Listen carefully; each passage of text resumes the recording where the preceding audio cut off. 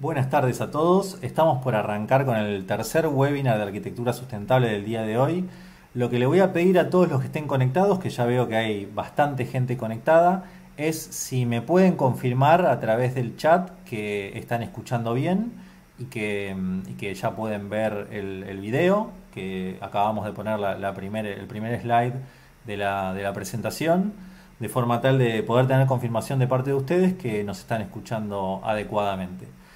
Adicionalmente, lo que les quería comentar es, estamos transmitiendo en vivo y lo que mm, hay un pequeño delay de unos 30 segundos aproximadamente entre lo que nosotros transmitimos y lo que les llega a ustedes, de forma tal que pueden escribir sus consultas, pueden escribir, digamos, cualquier, cualquier duda que les aparezca, la escriben en el chat y nosotros vamos a tener entre 30 segundos o 50 segundos en verla e ir contestándolo. Perfecto, ahí veo que me están contestando que, se ve, se escucha perfecto. Buenísimo. Ya tenemos más de 380 personas conectadas. Eh, ahora en uno o dos minutos vamos a dar, vamos a dar comienzo. Eh, veo que hay mucha gente conectada de forma tal que em, vamos a ir viendo a medida que vayamos dando el taller las consultas.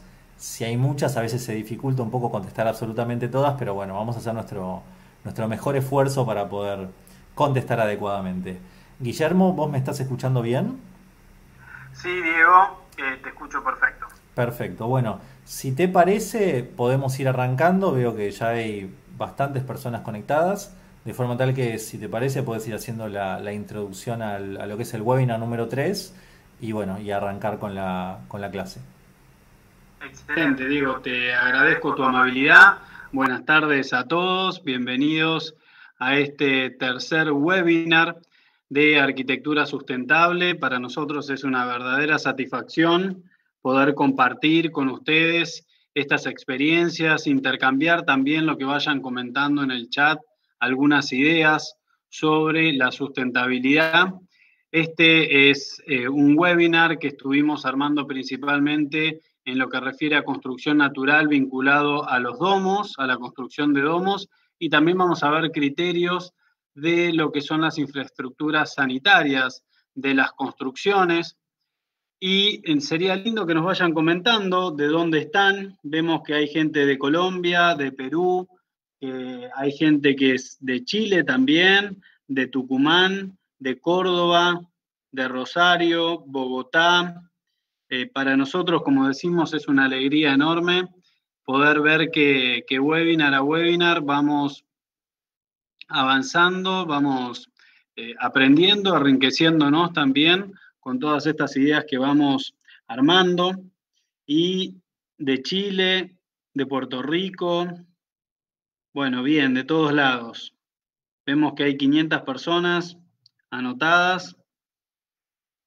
Salto, Uruguay, Medellín, Mendoza, estuvimos trabajando en Mendoza hace poco, General Pico, Colombia, Mar del Plata, hoy estuvimos trabajando en un proyecto de Mar del Plata, hoy estuvimos también trabajando en una casa en Pinamar, Bogotá, Santa Fe, Medellín, Cali, qué lindo que es Cali, Avellaneda, Buenos Aires, Quilmes, Rufino, Santa Fe, Chamical, Chubut, Las Flores, Corrientes, Lincoln. En Corrientes estamos haciendo un proyecto, en Córdoba estamos haciendo una construcción, Buenos Aires, Entre Ríos. En Entre Ríos ahora estamos haciendo dos construcciones también.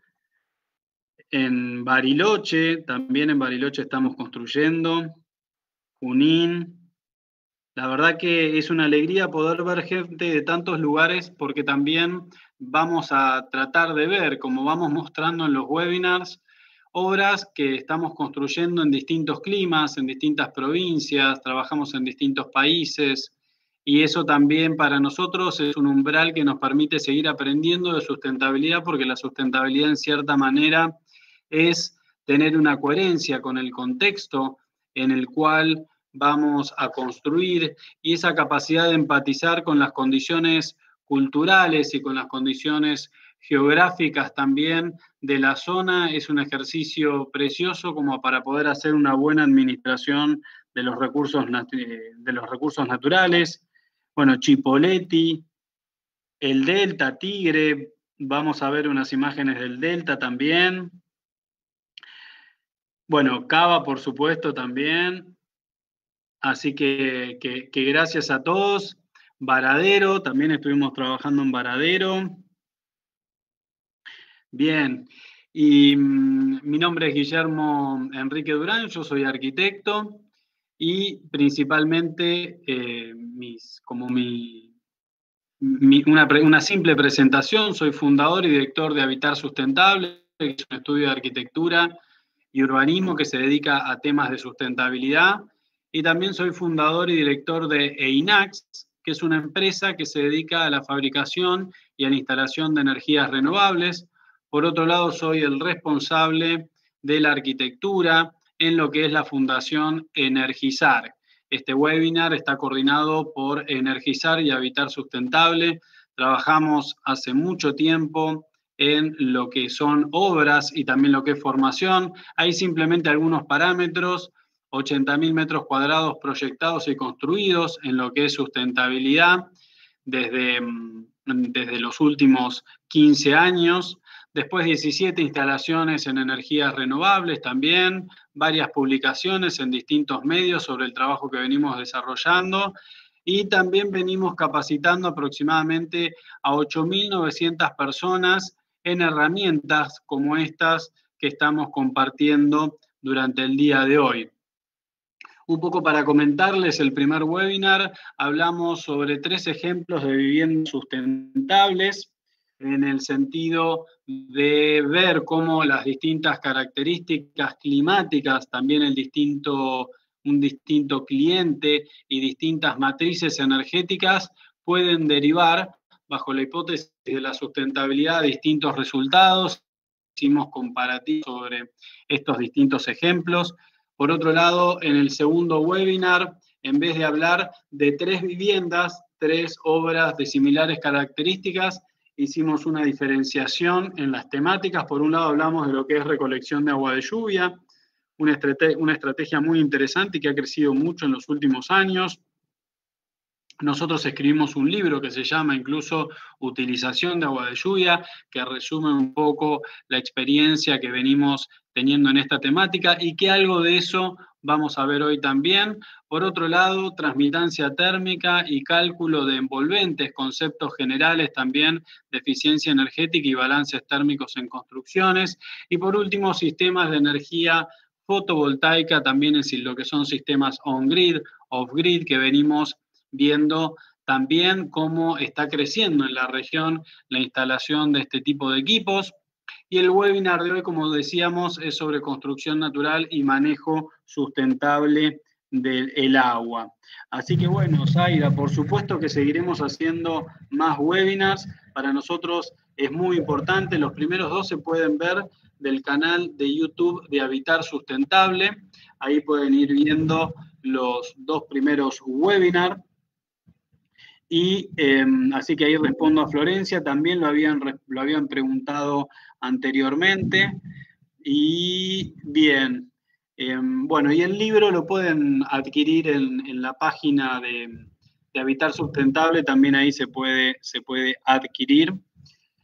Em, bien, bueno. Guillermo, perdón, ¿eh? Permitime, agregar un comentario, porque en el webinar anterior también lo, lo consultaron bastante cuando termine este webinar, o si alguno de ustedes, digamos, tiene, no, lo puede terminar de ver ahora, cuando termine les vamos a enviar un mail con los links de este webinar y los dos webinars anteriores como para que puedan ver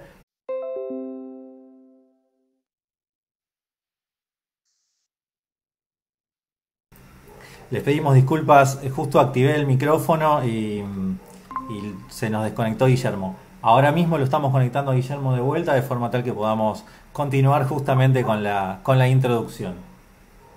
Guillermo, ¿ahí me, estás escuchando bien? Sí, perfecto. Buenísimo. Bueno, vamos a continuar.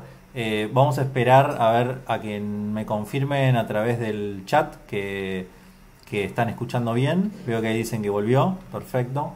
De forma tal que, Guillermo, si te parece, arranca de vuelta y disculpen por, por este pequeño inconveniente. Bueno, gracias, Diego. Empezamos hablando de esta construcción, que este es un domo que hicimos en construcción con tierra en la provincia de Córdoba ya hace cierto tiempo, es un domo de 9 metros y medio de alto. Y una de las cuestiones que nos preguntaban en una, en una oportunidad es cómo era la construcción de estos domos. A partir de ahí que vamos a tratar de analizar esta combinación entre cómo se diseñan los procesos constructivos y también todos los desafíos que nosotros vamos viendo la hora de llevar adelante y de concretar estas ideas. Esta es una planta de la construcción que, como para hacer algún comentario, es un clima con amplitud térmica, en donde en invierno de día hay mucho sol, y por el otro lado, eso lo podemos ver reflejado inclusive en la planta porque todos los muros son bastante gruesos, rondan en los 70 centímetros de espesor porque tienen en el medio aislación térmica con vermiculita, menos el muro norte, que es el que está en la parte superior del plano, que es más fino porque hay tanto sol en invierno que es más conveniente desde un punto de vista térmico aprovechar ese sol y tomar la fachada norte como un muro acumulador. Por otro lado, esto está en Villa Las Rosas, Paola, que preguntabas ahí. Em, por otro lado, a la hora de hacer lo que son las bases, como estas construcciones son construcciones muy pesadas, nosotros utilizamos una tecnología bastante vernácula que tiene que ver con vigas de encadenado con piedra bola de gran magnitud. A partir de ahí que vamos haciendo estas zanjas, como se ve en la foto de la izquierda, y vamos haciendo como unas vigas de encadenado que primero tienen piedra bola, después arriba la hacemos con una hilada de cemento, una suerte de encadenado tradicional, y después sí una pared que va a tener ladrillo macizo, que es donde hacemos lo que se denomina tradicionalmente el cajón hidrófugo. La vermiculita Eugenio es, es así, es aislante térmico, y que es la mica, que después de un proceso de horneado se expande y pasa a tener una muy buena aislación térmica. En esa foto de la derecha se ve la base y lo que nosotros hacemos, como estamos trabajando con materiales naturales, obviamente, el zócalo de estas construcciones lo vamos a resolver con piedra cortada tipo laja, también ahí abajo se ven algunos pedazos sueltos que pusimos a propósito, en donde resolvemos el zócalo de la construcción conjuntas con tierra y algo de cemento, más que nada para proteger los primeros centímetros de esta instalación. Bien. Villa Las Rosas es cerquita de Mina Clavero. Bien, la cantidad de cemento de ese reboque eh, es eh, muy poquito. Se pone una parte de cemento y después ponemos ocho partes eh, cuatro partes de arena, cuatro partes de tierra y lo vamos mezclando. Tiene menos cemento que un revoque convencional. Por eso la base utilizamos una mezcla de cimentaciones vernáculas mezclado con em, lo que es la construcción tradicional. Y a la hora de pensar el domo, nosotros encontramos distintas morfologías y en esta presentación vamos a ver dos formas distintas de hacer estas construcciones, que se denominan domos, pero también tienen otras formas de llamarse y que una decisión muy fuerte que sostiene su incorporación en los procesos de diseño tiene que ver con su estética. En este caso puntualmente se iba a utilizar ese domo también para lo que era la reproducción de música, cosa que hay ciertas formas que tienen un comportamiento favorable para lo que es la acústica. Bien, ahora vamos a ver, Miguel, justamente cómo encoframos esa forma circular. Si ustedes ven y analizan la forma del domo, van a ver que tienen como unas líneas cruzadas. En este caso, la conformación del domo y de la forma del domo la lográbamos tomando como punto de radio para el nacimiento del radio de la curvatura de lo que es el arco, lo que sería la, em, el, el punto opuesto dentro de la circunferencia de lo que es el domo, en vez de tener un radio en el centro del domo para que no quede con forma de cúpula o de semiesfera, sino que tenga un comportamiento más ojival y poder hacer más alargado hacia arriba el domo, que era el deseo de buscar esa forma, nosotros tomamos como nacimiento del radio justamente el vértice opuesto en la circunferencia en donde van a ser la estructura del domo. A partir de ahí, que esa es una de las mediciones que nosotros tomamos, después sí tenemos que tener, como vamos a ir viendo más adelante, un eje central para que toda esa circunferencia perimetral tenga la misma distancia hacia lo que es el centro de la forma y tratar de ir buscando esa combinación, tratar de ir buscando esa prolijidad que con los revoques se va reforzando. En esta otra imagen ustedes pueden ver lo que es el diseño de la escalera hacia lo que va a ser el mirador que está arriba del domo. Y el mirador va a tener una linterna que por un lado tiene una luz con una suerte de espejos interiores.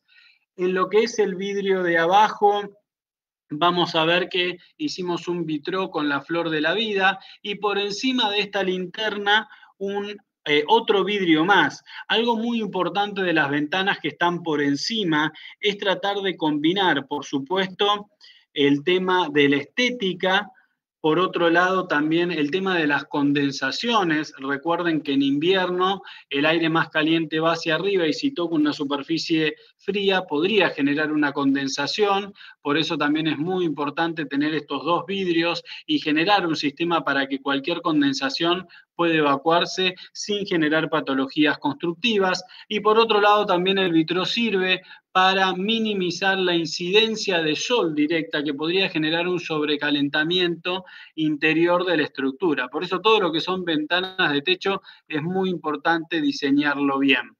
Así que lo vamos a ir viendo ahora en las imágenes de la construcción.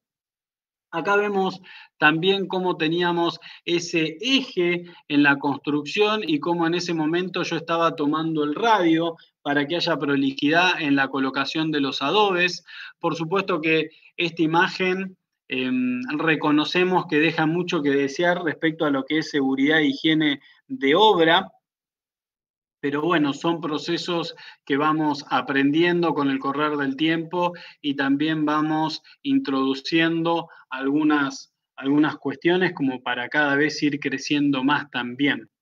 En esta foto, como decíamos, se ve la otra gran medición para regular la forma del domo. Por un lado, era eh, tomar como iniciación del radio el punto opuesto de la circunferencia del domo y también para que todos los adobes estén a una misma distancia, ese radio lo vamos achicando a cada hilada que vamos subiendo y a partir de ahí vamos pudiendo tomar cierta eh, cierta, cierta prolijidad en la construcción. Algunos comentarios técnicos sobre esta foto. Por un lado se ven unos hierros, que esos hierros es, eh, van a conformar una columna de hormigón, que nosotros consideramos que está bueno, a veces mezclar con algún refuerzo tradicional estas estructuras, que ya son muy sólidas de por sí. Por otro lado, también es muy importante cómo se va cosiendo hilada a hilada para que los mismos ladrillos vayan trabajando la compresión, que es muy coherente con este tipo de fórmula y este tipo de formas, como para que trabaje de una manera armoniosa.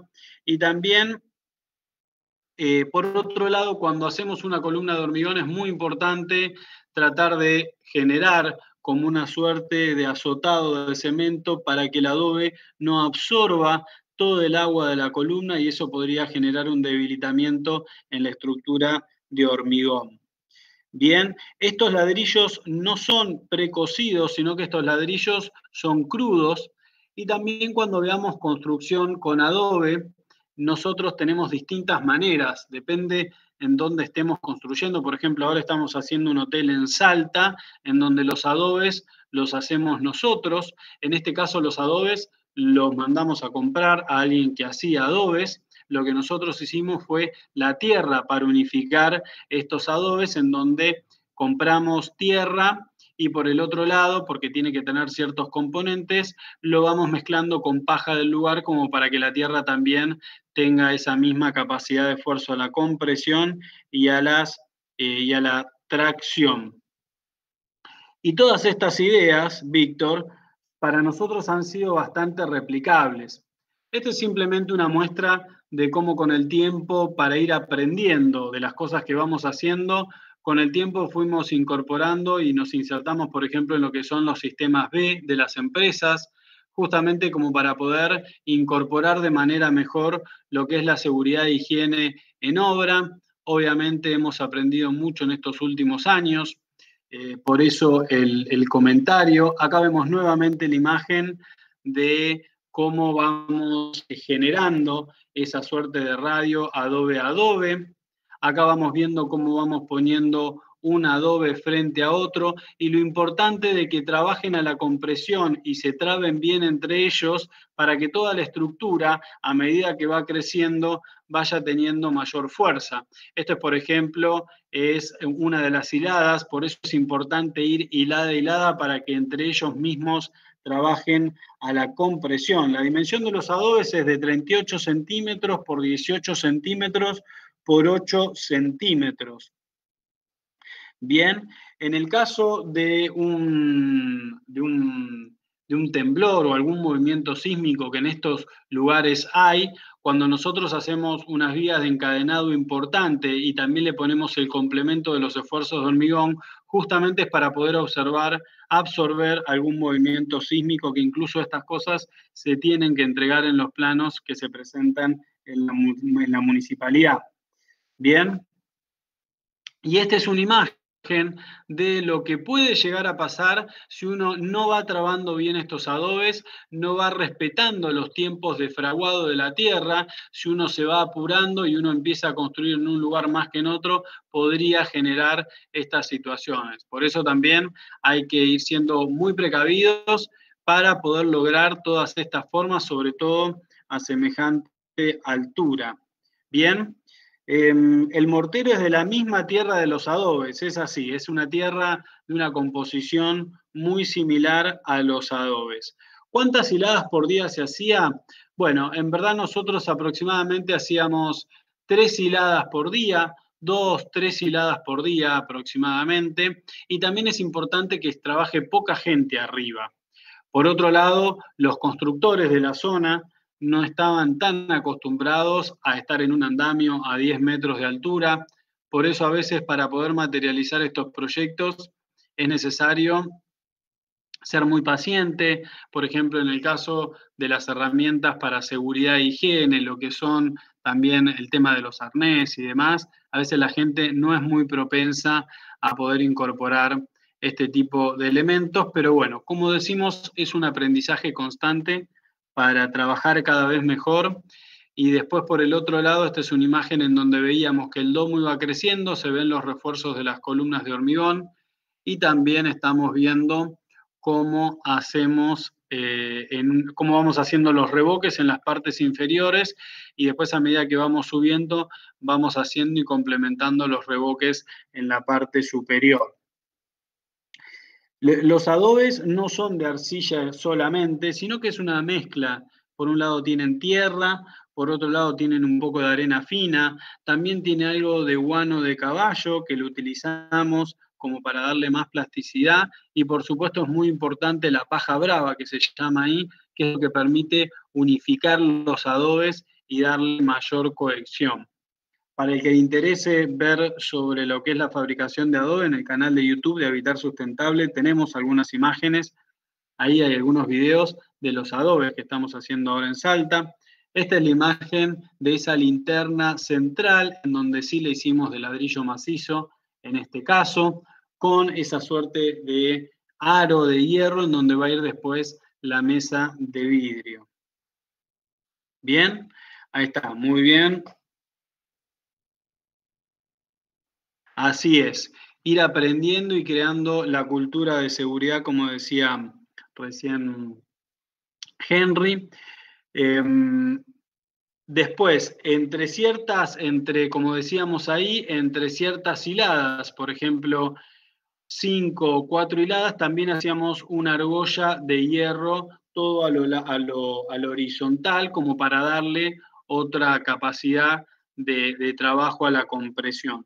Por otro lado, a la hora de pensar lo que, mm, los, los arcos, por ejemplo, la tecnología que utilizábamos estaba vinculada con eh, también, como eran arcos que tenían distintos focos, o sea, el radio partía de distintos lugares, lo que hacía era colgar con alambre de fardo cada uno de los adobes hasta poner el último adobe, como se ve en la foto de abajo de la izquierda, y de esa manera poder obtener un arco que no es de medio punto, sino que también es un arco ojival que tiene dos focos y cada uno de esos ladrillos tiene que estar nivelado, tiene que estar mirando bien hacia el centro de esa forma redonda. Por otro lado, tiene que respetar el foco, también tiene que respetar el radio de lo que es la construcción del domo para que se pueda generar una forma que sea armónica con la complejidad morfológica que tiene en este caso el diseño de la construcción. La construcción con tierra invita a formas plásticas, es algo que nosotros valoramos mucho y que después con el correr de la obra lo vamos mezclando a la misma construcción con tierra, con otros elementos de madera, como para ir dándole, por supuesto, esta estética que decanta a ser una estética más natural.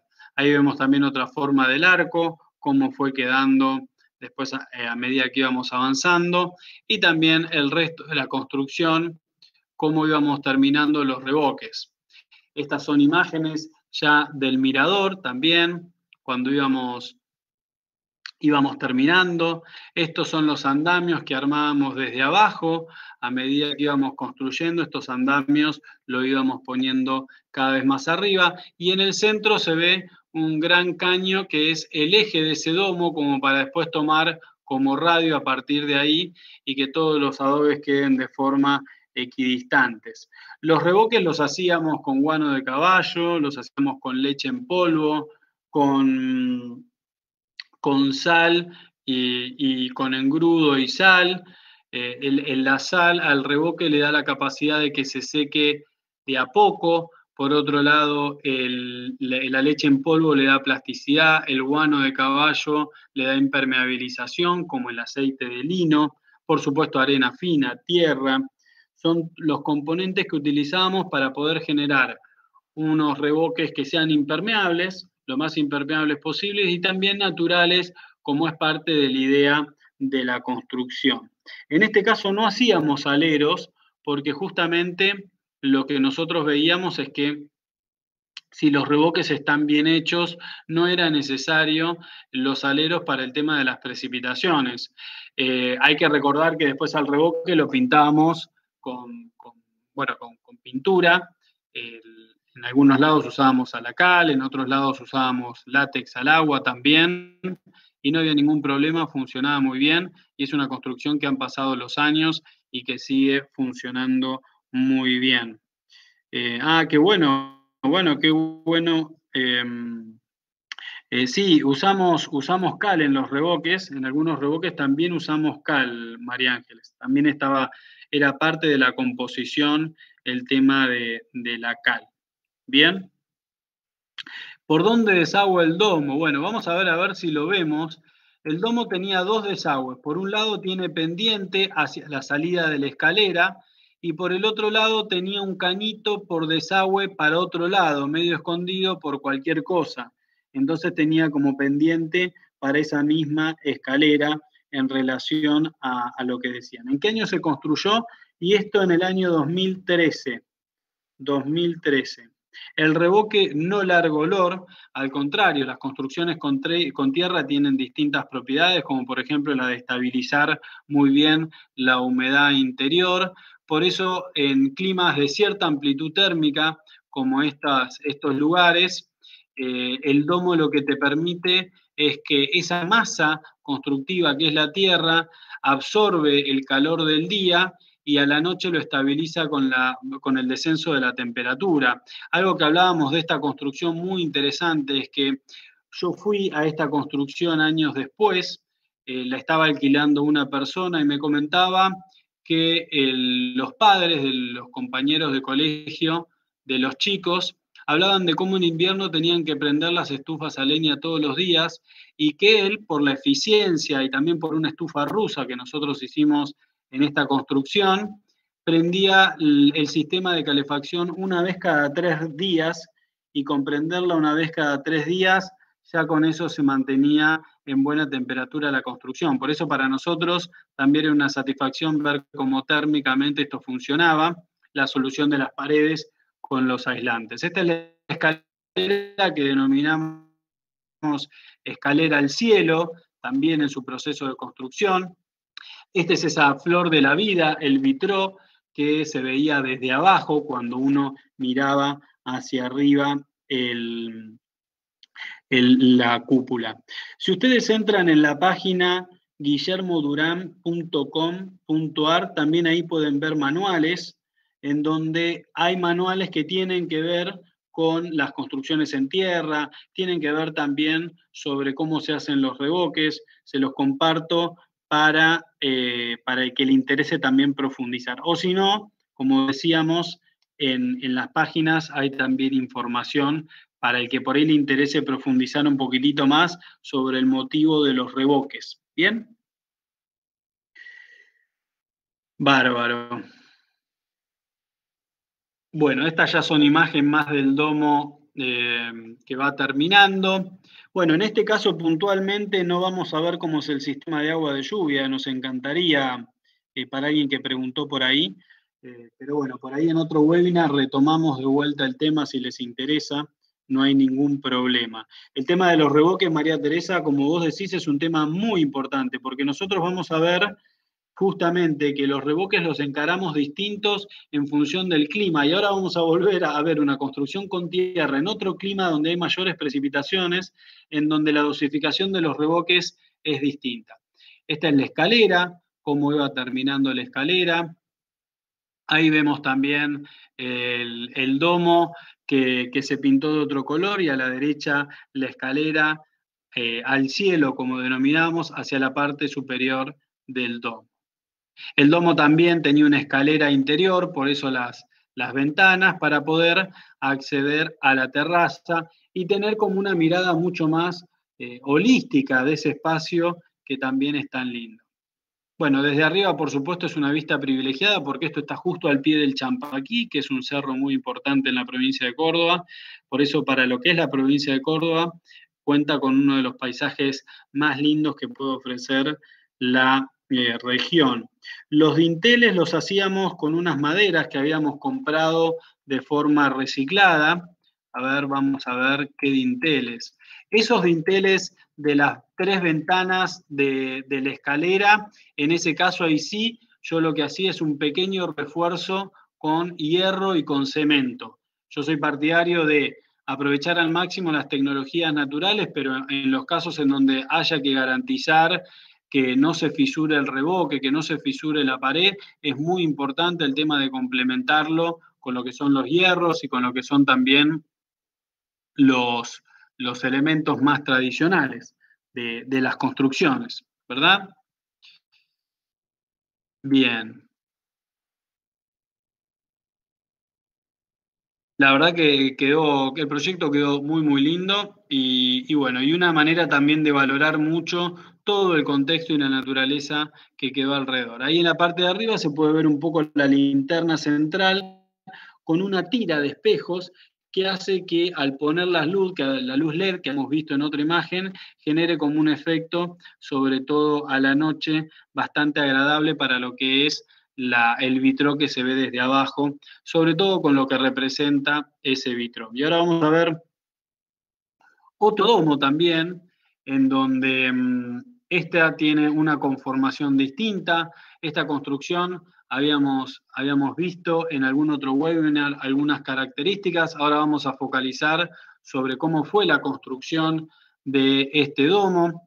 También aclarar que nosotros en, las distintas capacitaciones que vamos dando, muchas veces eh, nos parece interesante el tema de poder abrir en algunos casos oportunidades a voluntariados o a lo que son visitas de obra para, también intercambiar ideas y que sea una forma de ir enriqueciéndonos mutuamente.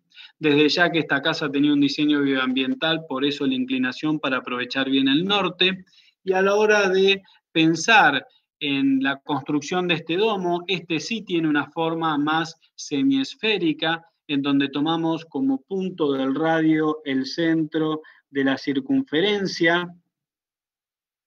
¿Cómo se realizó la escalera al cielo y cómo se sostiene? Bueno, la escalera esa tiene unos refuerzos también de hierros y de hormigón, porque la construcción con tierra en ese sentido y para esas soluciones estructurales es más sensible. Por eso es que combinábamos constantemente la construcción con tierra y más allá que esa escalera tenía un arco eh, por debajo, eh, justo en esa parte del arco, ahí utilizamos hierro con cemento para reforzar muchísimo. A ver, eh, muchos están como dicen acá, flipando con el tema de la leche en polvo. Em, bien.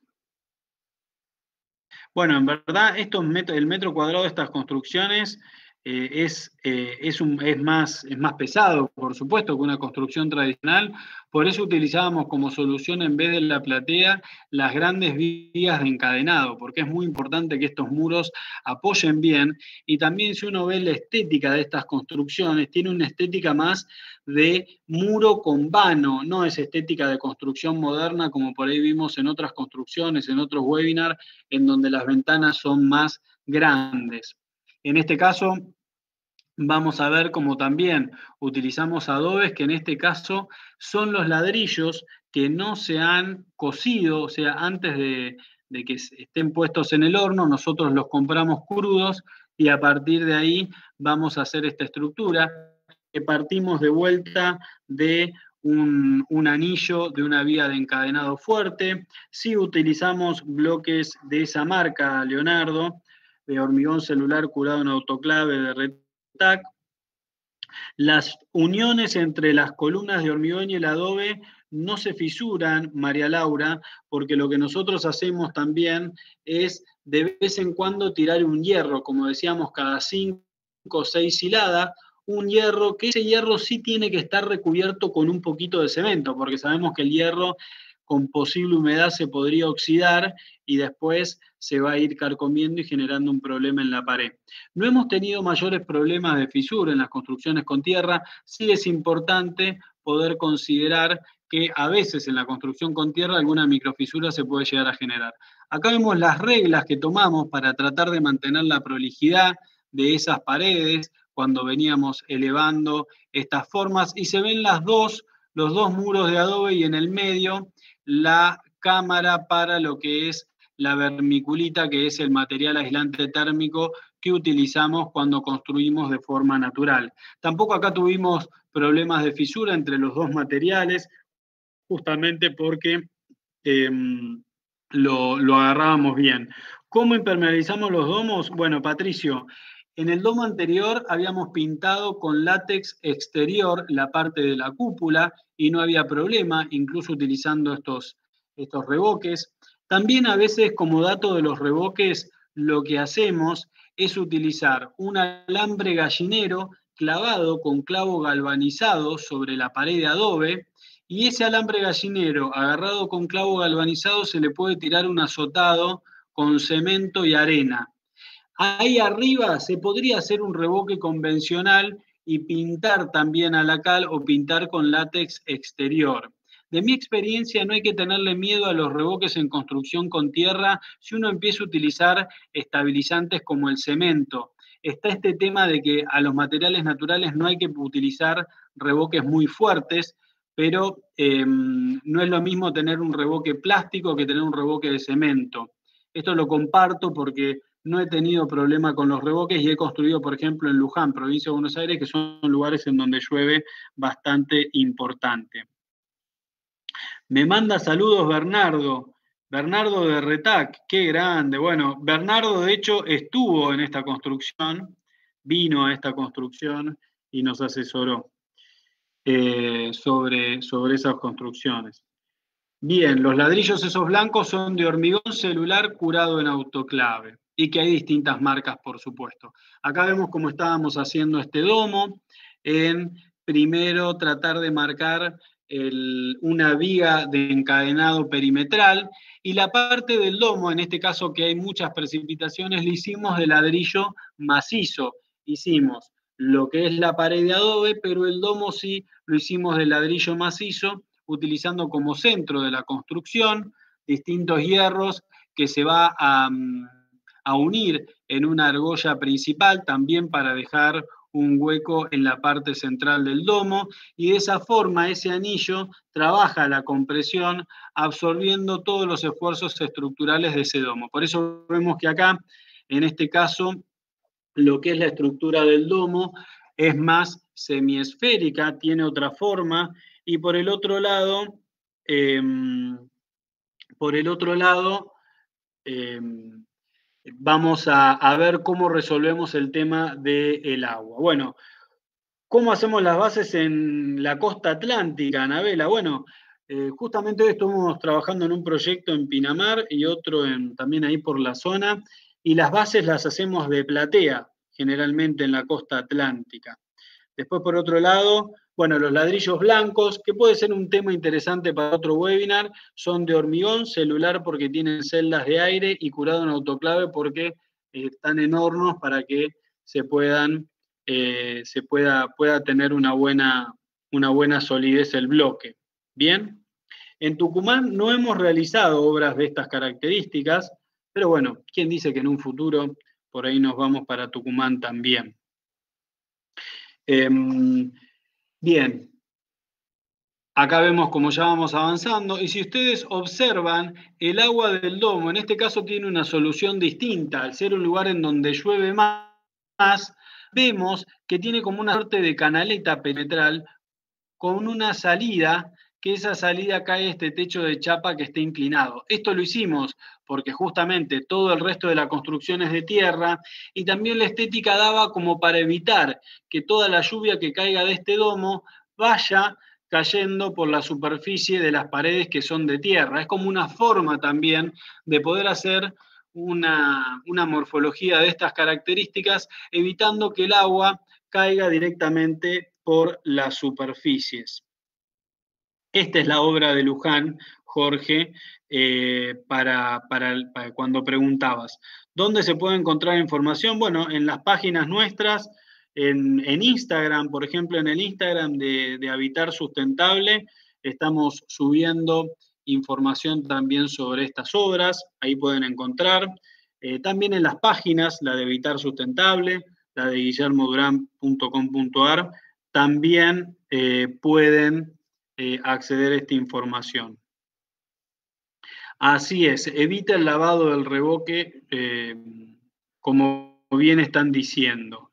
Bien. Perfecto. Y acá vemos una imagen del corte cuando ahí estaba haciendo eh, justamente la parte de arriba del domo. Y acá de vuelta hay temas que son muy importantes considerar. La condensación interior, que acá lo resolvimos de otra manera, con una suave ventilación en la parte superior del domo para que justamente el aire más caliente, en vez de pegar con la superficie del vidrio, pueda eh, salir suavemente, poco, no tiene que ser una abertura muy grande porque si no pierde eficiencia térmica la construcción. Pero es una manera de que en verano se genere el efecto chimenea y también en invierno no haya condensación. Bien. Em, si no hay movimientos sísmicos, yo diría que lo que tiene de bueno el hierro es que te puede permitir de vez en cuando em, tener mayores eh, cargas estructurales. Pero si la construcción es de una planta, em, podrías prescindir tranquilamente del hierro. El hierro tiene dos funciones, darle más capacidad estructural y evitar algún movimiento que se puede dar por las bases, achicar el margen a movimientos, que ese movimiento se puede llegar a traducir en un futuro en alguna microfisura, en algún revoque. Bien. La ventilación de este domo, ¿cómo se protegía del agua? En verdad es lateral. Si uno mira la foto de la derecha, ahí hay como un caño lateral blanco y a ese caño le hacíamos otra tapa también que estaba perforada y que evitaba el ingreso o de animales, o de bichitos, o de, de agua también. Em, por eso era otra manera de resolver lo mismo. Y en el gráfico de la izquierda se ve el efecto de la geotermia, la ventilación cruzada que generamos y también el efecto chimenea, entendiendo que se aísla térmicamente todo. Por ejemplo, esta cúpula estuvo aislada con vermiculita. Hicimos un contrapiso de vermiculita para aislarla mejor. ¿Bien? Acá vemos imágenes en la construcción. Al final la construcción terminó teniendo internamente los mismos adobes, quedó bastante prolijo y terminó teniendo eso como terminación final. Bien, acá vemos algunas imágenes finales y vamos a pasar al tema del el manejo sustentable de agua. Eh, a ver, ¿cómo hacen que el lugar se ve estético si utilizan materiales renovables? Bueno, nosotros entendemos que, por ejemplo, estos materiales ya de por sí comunican mucho y para nosotros es una cuestión que hace a la estética el tema de cómo los materiales hablan a, lo que es la, arquitectura. ¿Bien? Vamos a ver algunas cuestiones de uso sustentable de agua em, y em, el tapial. ¿Qué opinamos del tapial, Lucía? Yo me engancho con algunas preguntas, me quedaría hablando hasta las 4 de la mañana, no tengo problema. Em, el tapial nos parece un muy buen sistema, para mí es para climas un tanto más secos, lo que tiene de bueno el adobe es que vos podés particionar, porque parte de la fabricación de un muro adobe es la construcción del adobe, y eso lo podés terciarizar o lo podés hacer vos. Eh, nosotros a veces los hacemos, como los estamos haciendo ahora, que comentábamos en el proyecto de Salta, pero en otros casos los terciarizamos. El tapial nos parece un sistema muy bueno, a mí me parece bueno para climas secos. El super adobe, de mi experiencia, el super adobe tiene un tema con los reboques, Em, ¿Incluyeron un muro Trump? Sí, Karim. En otro webinar podemos hablar si les interesa el muro Trump. Ahí a la izquierda, en esta imagen de la izquierda, perdón, en esa imagen que se ve arriba la casa, eh, a la izquierda se ve un muro Trump que la verdad que como sistema solar pasivo es excelente. Bien. Em,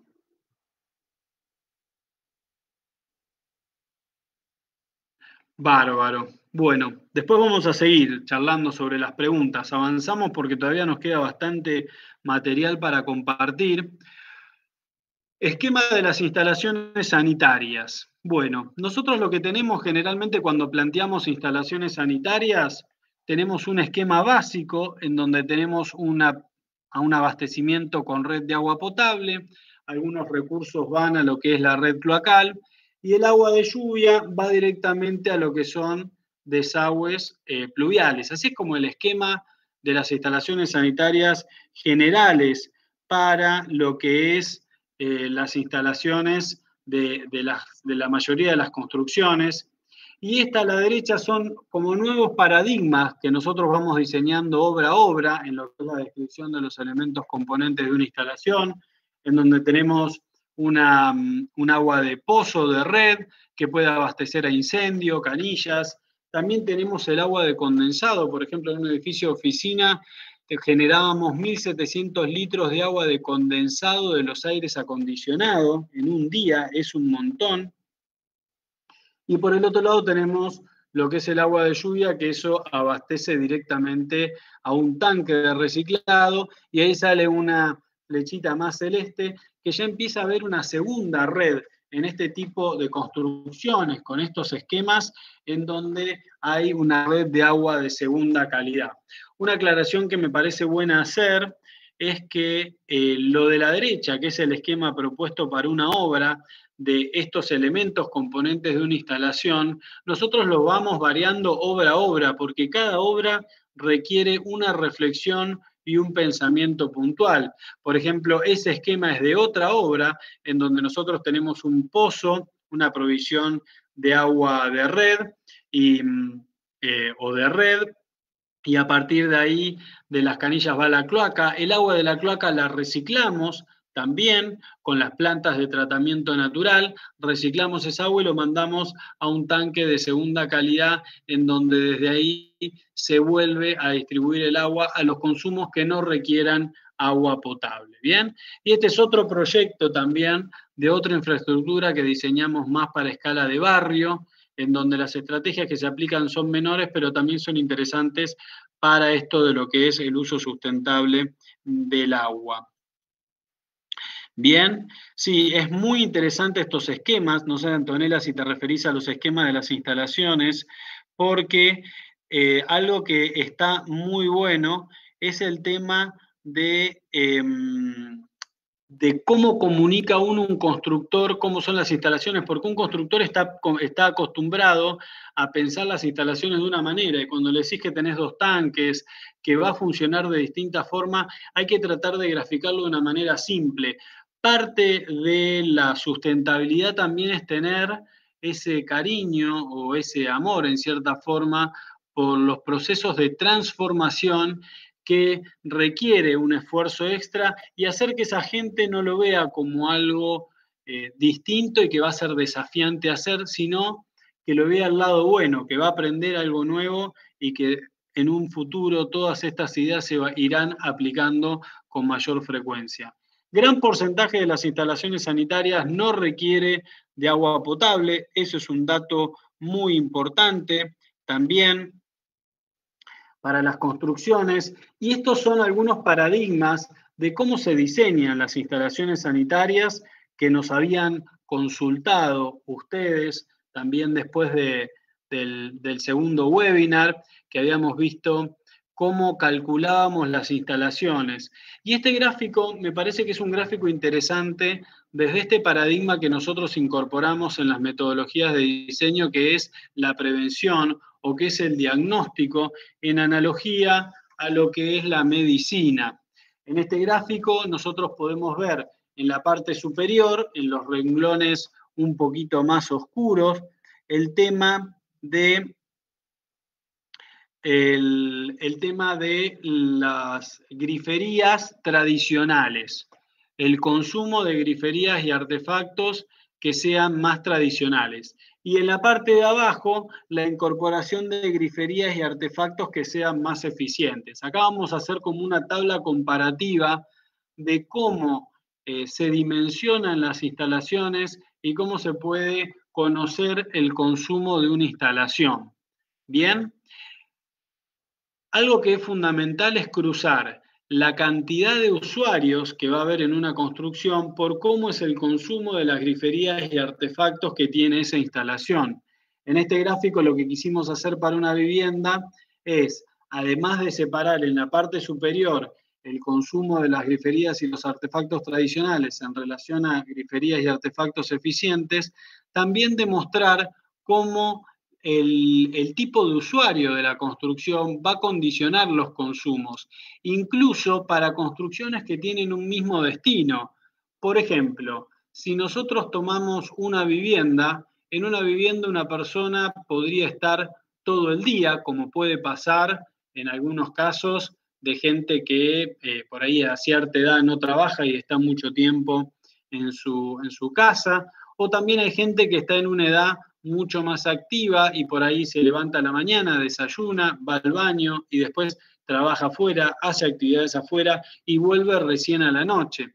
Si nosotros queremos hacer un cálculo de nuestras construcciones sanitarias, bueno, tendríamos que poder ser sensible en diferenciar el tipo de usuario y nosotros lo hacemos en una obra.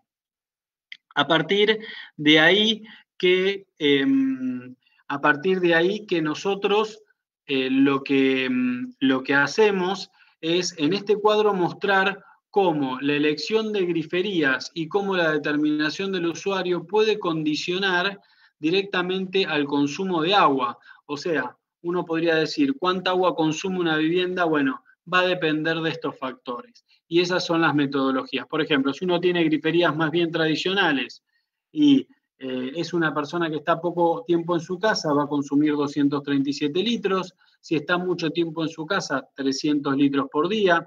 Si es una persona que está poco tiempo en su casa y tiene griferías y artefactos eh, eficientes, 101 litros y 137 litros si está gran cantidad de tiempo en su casa. Y por supuesto que también importante lo que es la elección de los artefactos y las griferías que hagan un uso sustentable del agua. Bien. En este caso, em, vemos lo que son los inodoros secos, también de cómo funcionan, cómo separan el 1 y el 2. Tenemos a la izquierda unos más industrializados, a la derecha algo un poco más tradicional, inodoros que en algún momento no usan agua o usan muy poca agua. Por otro lado, el tema de los mingitorios secos, que esto también nos habían preguntado en el webinar anterior, y ahí abajo tenemos una esquemita de cómo funciona en uno de los mingitorios secos. Nosotros estamos utilizando mingitorios secos, por ejemplo, para vestuarios, en donde lo importante de incorporar estos artefactos es que la ecuación termina siendo más económica por todos lados porque, mm, porque por un lado eh, el tema de, eh, de que uno evita que lleguen los caños de agua, o sea, hay una economía en la instalación, por otro lado, el artefacto tiene precios similares y en tercera instancia la variable mantenimiento. En un club, en un vestuario, hay una probabilidad de que las válvulas de los mingitorios se rompan. De hecho, me ha pasado hablar con gente de mantenimiento que me dicen que cada mes y medio hay una válvula que se rompe, se pierde agua, se genera un enchastre. Al tener mingitorios secos, uno no solo tiene una construcción más económica, no solo genera un beneficio al medio ambiente, sino también el beneficio también en la disminución del mantenimiento y en el confort de la instalación. Bien, y ahí vemos ahí abajo una de las maneras para que funcionen estos mingitorios secos, en donde nosotros tenemos ahí unas boyas que se van viendo, que trabaja como un flotante que deja pasar el número uno, pero después va a trabajar como un sifón para que no vuelvan los olores. Y acá vemos otro esquema de otros mingitorios secos. Estos son los que estamos poniendo justo en una obra que estamos proyectando ahora, en donde tiene un sifón y justamente al tener fluidos de distintas densidades, la orina tiene menor densidad que el fluido que tiene el sifón, hace que los olores no vuelvan hacia lo que es el mingitorio. Bien, son sistemas que hoy por hoy están accesibles y también es interesante ver cómo la industria va absorbiendo estas cuestiones y va generando estas transformaciones en nuestra industria. Este es un proyecto en donde certificamos LEED, obtuvimos eh, los distintos puntos para lo que es la certificación LEED. Recordemos que LEED es un sistema de certificación de edificios verdes. Acá obtuvimos todos los puntos por medio justamente de elegir griferías y artefactos que promuevan un uso sustentable del agua, del tema de utilizar el agua de lluvia, la vegetación autóctona y resistente o lo que es el buen sistema de riego y también lo que son equipos de bioretención. También es importante ir viendo bien qué griferías y artefactos elegimos.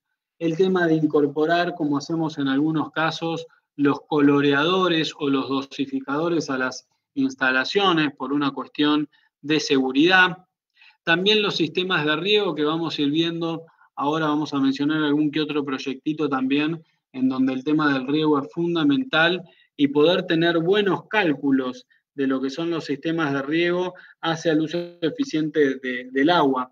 En muchas construcciones, la cantidad de agua que se pierde en las pérdidas en los sistemas de riego eh, hace que, pueda llegar a ser un 30% del consumo total del agua. Cuando hablamos de bioretención, también es importante calcularlas como para poder canalizar esas tormentas que se generan cuando hay lluvias excesivas. Y también recordemos que por las características y las transformaciones que está teniendo el clima, cada vez estamos teniendo una concentración más fuerte y, un, y, se está convirtiendo un poco más a tropicales en algunas zonas de nuestra región. Por eso es muy importante em, el, tema de, la bioretención, una estrategia para evitar la inundación, pero también para evitar el agua estancada. Eso tiene un diseño. Y estos son unos proyectos, unos edificios. Acá estuvimos trabajando en, Estados Unidos, los de arriba es Nueva York, abajo estuvimos trabajando en Washington, simplemente para mostrar que para mí hay algo maravilloso de la sustentabilidad, que es un ganar-ganar para todos. Nosotros vemos obra a obra, cómo los también de la sustentabilidad se pueden materializar con tecnologías más naturales, como vimos anteriormente en el, en el domo, estar arriba de un domo descalzo, la tierra, con, en medio de la naturaleza, teniendo una reflexión sobre el medio ambiente. También por el otro lado podemos utilizar tecnología para poder generar buenos beneficios.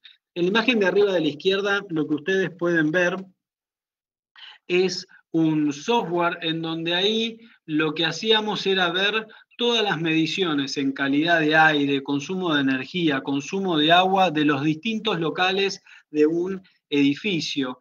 Y a partir de ahí, esto que, esta analogía nuevamente que la cruzamos con la medicina, de poder medir cómo está funcionando nuestro paciente, nuestro querido paciente, que es la arquitectura que tanto amamos, que tanto queremos, que tanto pensamos, que tanto proyectamos, y que en la misma medición de los recursos que va necesitando para su funcionamiento, vamos aprendiendo, entendiendo cómo hacer para generar eficiencia y también procurando que no haya alguna pérdida, que por ahí las estrategias de ahorro que generamos caen o dejan de tener sentido si no nos estamos dando cuenta que por ahí surgió alguna pérdida en el sistema por algún otro lugar. Por eso el tema del chequeo y la medición es fundamental.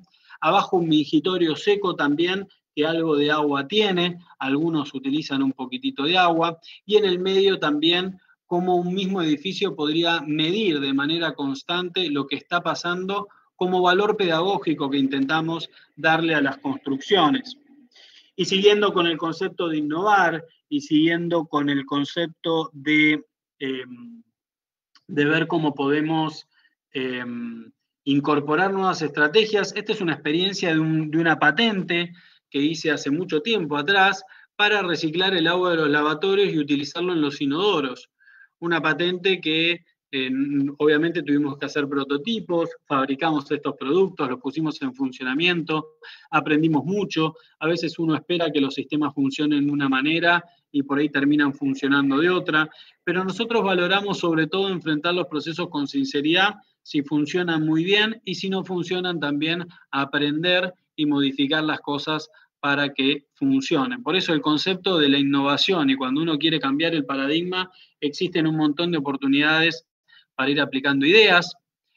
Por ejemplo, el tema de mejorar los cálculos de riego. Nosotros día a día trabajamos con paisajistas para mejorar lo que son los cálculos de riego. Cuando, cuando trabajamos con paisajistas, estamos en el día a día tratando de entender mejor los cálculos de, riego, porque el riego demanda mucha agua y a veces las metodologías de cálculo hay que tratar de ser, eh, de, darle como puntualidades de subjetividad en relación al análisis de cada caso. Y en eso el trabajo en conjunto con paisajistas es muy importante para generar una ecuación positiva en el general de la obra. Estos son algunos de los factores que nosotros tomamos para calcular el riesgo de una instalación. El tema del área, por supuesto, el tipo de especie, la densidad, el clima, la evapotranspiración, que es un dato del servicio meteorológico, el tema de las precipitaciones también y el sistema de eh, irrigación. ¿Bien? Eh, bueno, y a partir de analizar sistemas de riego, este es un proyecto para mí muy lindo porque eh, tuvimos que eh, diseñar un sistema para juntar agua de lluvia y regar una huerta, que ahí vemos en algún momento cómo estaba creciendo esa huerta, después fue creciendo más en esa huerta y cómo el agua también, si nosotros la cuidamos y la administramos bien y entendemos todo su valor, el agua es vida. Cuanto cuidemos el agua, estaremos cuidando de manera proporcional la vida. El agua en muchos lugares es la oportunidad de poder hacer crecer comida y todos sabemos lo rico que es, más allá de una cuestión literal, pero lo rico que es como experiencia la capacidad de producir alimentos. Eh, el hecho de producir el alimento también es un gesto de dignidad es una demostración de cómo la naturaleza nos puede proveer de todos, así como la construcción natural también. Y en esta conexión con la naturaleza, el tema de, eh, entender una administración global de los recursos sanitarios puede generar eh, puede evitar muchos desafíos. Este es el mismo proyecto en una imagen de un momento en donde ha habido grandes inundaciones en el sector de la provincia de Buenos Aires. Por eso también la visión más puntual, pero también una visión más global de lo que es el agua como recurso, consideramos que como humanidad es una cuenta que nos debemos, porque el agua en cierta forma es un recurso constante y que nosotros tenemos que por un lado ahorrar agua y por el otro lado también cuidar el agua que utilizamos. El agua que utilizamos tenemos que procurar devolverla de la mejor manera al ambiente. Por eso también promovemos mucho las plantas de tratamiento natural, que son canteros que permite, en cierta forma, poder eh, tratar y reciclar el agua y, utilizarlo para regar. Esto es una muestra, por ejemplo, de lo que se puede producir con un buen riego en un lugar en donde no había nada. Por eso la ingeniería bien pensada en función de la sustentabilidad es productora de vida. Y nosotros lo vamos viendo proyecto a proyecto y la verdad que eso nos genera una gran pasión y por sobre todas las cosas la satisfacción de que hay grandes oportunidades de ser actores positivos en esta sociedad. Cuando hablamos de instalaciones y reciclar el agua, fundamental los procesos para medir la calidad del agua. Eso es algo muy importante. Nosotros somos rigurosos en el proceso de medición de las calidades de agua, en algunos casos la variable bacteriológica la más sensible, en otros casos la física química, en algunos casos el tema del sarro, el arsénico, la debilidad bacteriológica y respetar los procesos, las metodologías. Por ejemplo, ahí estoy prendiendo fuego un fósforo para el pico de una canilla, que es una de las características que tiene que tener la cadena de custodia del agua que vamos a tomar para hacer el análisis. No puede pasar más de 10 horas de la fuente original hasta el laboratorio, no puede excederse de cierta temperatura. Y todas estas cuestiones nos van permitiendo construir sobre seguro y aprender obra a obra. Bien.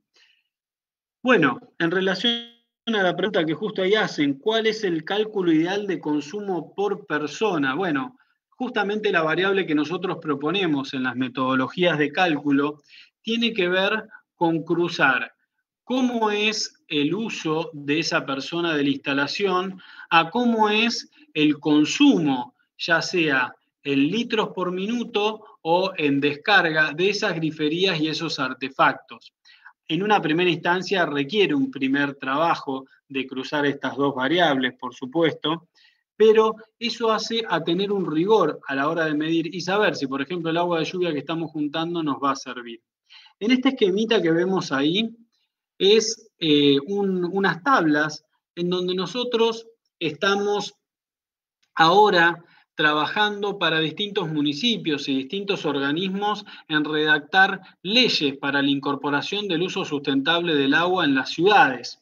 Y acá vamos a hablar puntualmente de lo que es el Código de Edificación de la Ciudad de Buenos Aires. A mí me tocó la oportunidad de redactar un capítulo que se llama Uso Sustentable del Agua del Código de Edificación de la Ciudad de Buenos Aires, que em, estuvo en proceso de aprobación en los últimos tiempos, en donde en primera instancia algo importante es, así como se requieren cálculos estructurales para una construcción cuando se entrega un plano en la municipalidad, en el ayuntamiento, ¿por qué no también que se entreguen cálculos de las instalaciones sanitarias y que no puedan tener griferías o artefactos que consuman más de cierto rango de valor?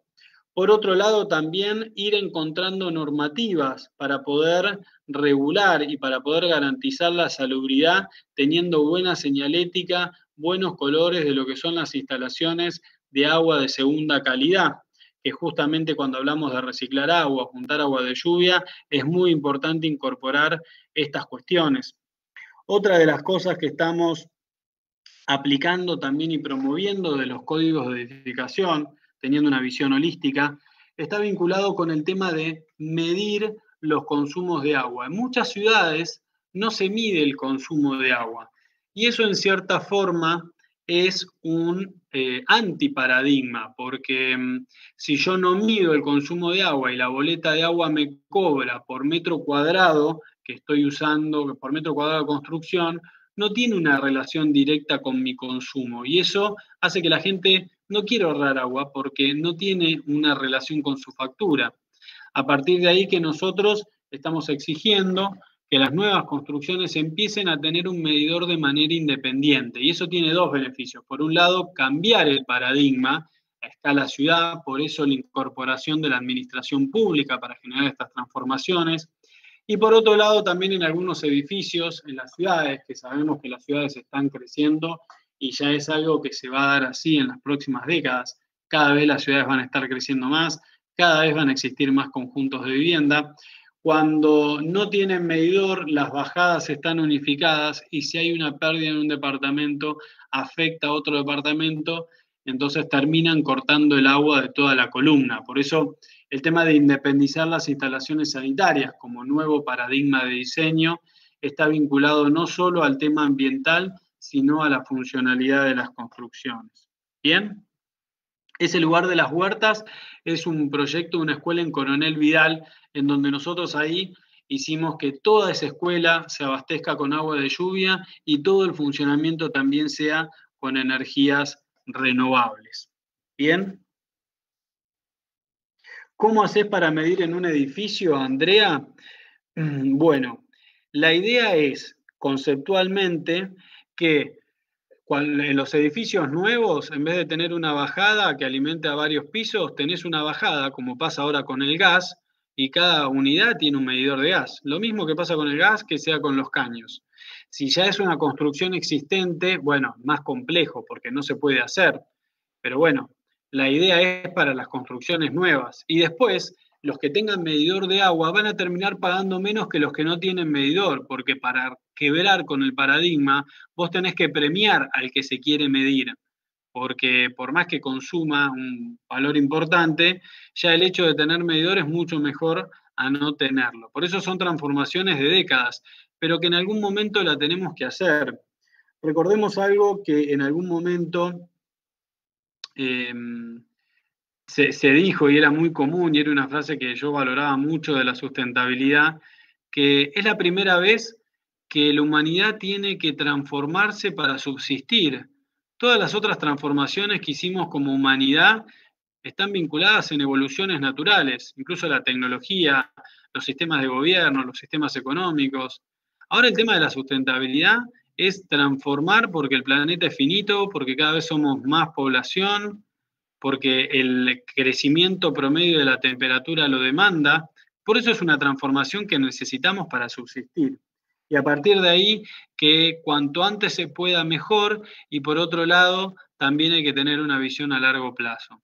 En el tema de las piscinas, nosotros estamos trabajando con el tema de las biopiscinas y también lo que estamos incorporando en lo que son los edificios es que las piletas tengan medidor y no se pueda y no renuevan el agua, no se pueda renovar el agua durante cierta, cierto volumen eh, durante el año y que también el agua tenga que tener una calidad determinada, porque a veces pasa que por mantener bien el agua le ponen tanto cloro que termina generando un problema de salubridad. Por eso lo que nosotros estamos eh, armando en, en estos sistemas es la oportunidad de promover lo que aplicamos en las construcciones. Nosotros en las construcciones usamos mucho lo que son los ionizadores para lo que es mantener el agua eh, con un 90% menos de cloro. Por otro lado, alguno de ustedes lo habrá utilizado seguramente, el tema de eh, salinizar las piletas, utilizar la sal para las piletas. Bueno, María Andrea se ve que los ionizadores lo has utilizado. Nosotros lo hemos incorporado y todas estas estrategias que hacen a tener el agua de la pileta con buena calidad, también tienen una influencia en los beneficios económicos, porque tener un ionizador te hace ahorrar tanto cloro que te termina conveniendo un punto de vista económico. Tener un salinizador de la pileta, ya el mantenimiento prácticamente solo, dependiendo del sistema de sal, y no dependemos del cloro. Y también genera a largo plazo un ahorro económico. ¿Bien? Bueno, Gastón, en algún otro webinar podemos volver a hablar del tema de agua de lluvia, así que gracias por proponer el tema. Bueno, excelente. Excelente. También otro tema, el tema de las biorretenciones, que al incorporarlo en los códigos de edificación lo relacionamos con los riesgos hídricos de inundación. Por ejemplo, hay sectores en algunas ciudades que son más propensos a inundarse. Bueno, si tiene más riesgo, la exigencia en la biorretención va a ser mayor. La biorretención puede ser un cantero que tenga plantas, pero que en caso de muchas precipitaciones trabaje como un estanque justamente para canalizar o para atomizar ese volumen importante de agua. Las piscinas naturales, bueno, es un tema muy interesante para nosotros las piscinas naturales, sobre todo desde un punto de vista estético. Después dependen y requieren de nuestra experiencia un poco más de superficie de lo normal. Nosotros escribimos un manual sobre biopiscinas, que tiene, entre otras cosas, metodologías de cálculos, características eh, constructivas, así que cualquier cosa también eh, a disposición sobre esa temática. ¿Bien? Bárbaro.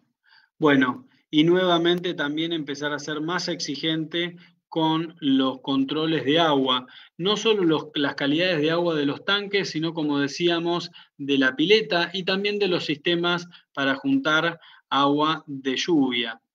Por otro lado, también extender el uso de agua de lluvia en los edificios y empezar a exigirlos cada vez en los edificios, sobre todo que tienen mayor superficie de terrazas, entendiendo que el agua de lluvia para las ciudades es muy importante porque disminuye mucho el agua potable. Si nosotros en una ciudad usamos agua de lluvia, podemos llegar a reducir hasta un 40% el consumo de agua potable.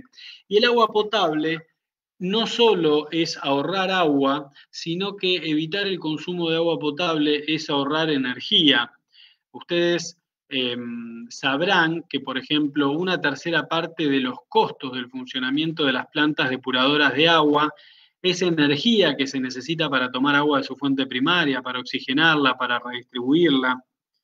En Latinoamérica hay un promedio de un 30% de pérdida de agua que se da por las instalaciones de las ciudades, justamente por pérdidas que no se conocen o que no se han arreglado.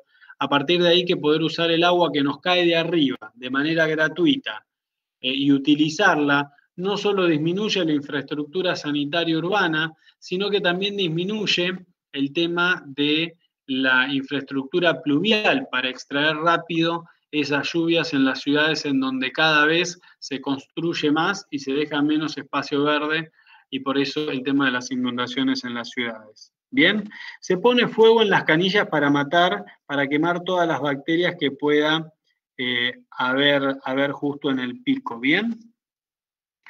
Fachadas verdes también es un tema interesante, al igual que las terrazas verdes, sobre todo para el tema de las ciudades. Eh, y con agua de pozo, ¿a qué te referís, Clemente, con el agua de pozo? No entendí la pregunta, por ahí no la venía siguiendo, discúlpame.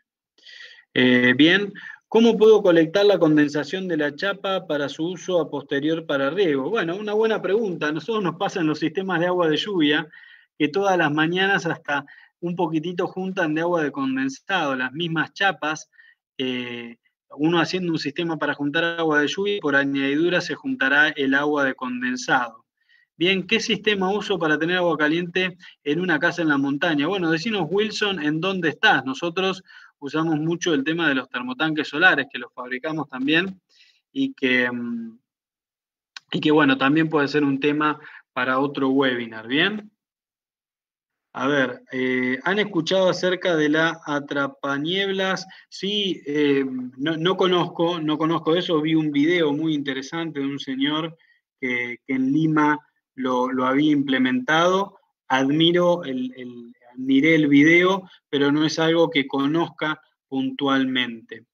Así que, mm, bien, y otra cosa que también volvíamos y traíamos era el tema del interceptor de grasas y aceites en las ciudades. Ustedes saben que así como estamos viendo cosas muy puntuales y muy particulares como la elección de una grifería y unos artefactos, hablamos también de cómo una regulación o una ley puede cambiar el funcionamiento de las estructuras sanitarias. En el caso de lo que son los interceptores de grasas y aceites, es muy bueno porque muchos desechos cloacales de las ciudades están reducidos en su sección por la cantidad de grasa y aceite que se va acumulando y que después con las bajas temperaturas se va solidificando. Y eso va generando problema en lo que son las cañerías cloacales urbanas. A partir de ahí, que hoy por hoy en todo lo que es el reciclado de los desechos, se puede eh, tratar mejor el tema de lo que es el aceite, incluso se puede transformar como biocombustible y también las grasas.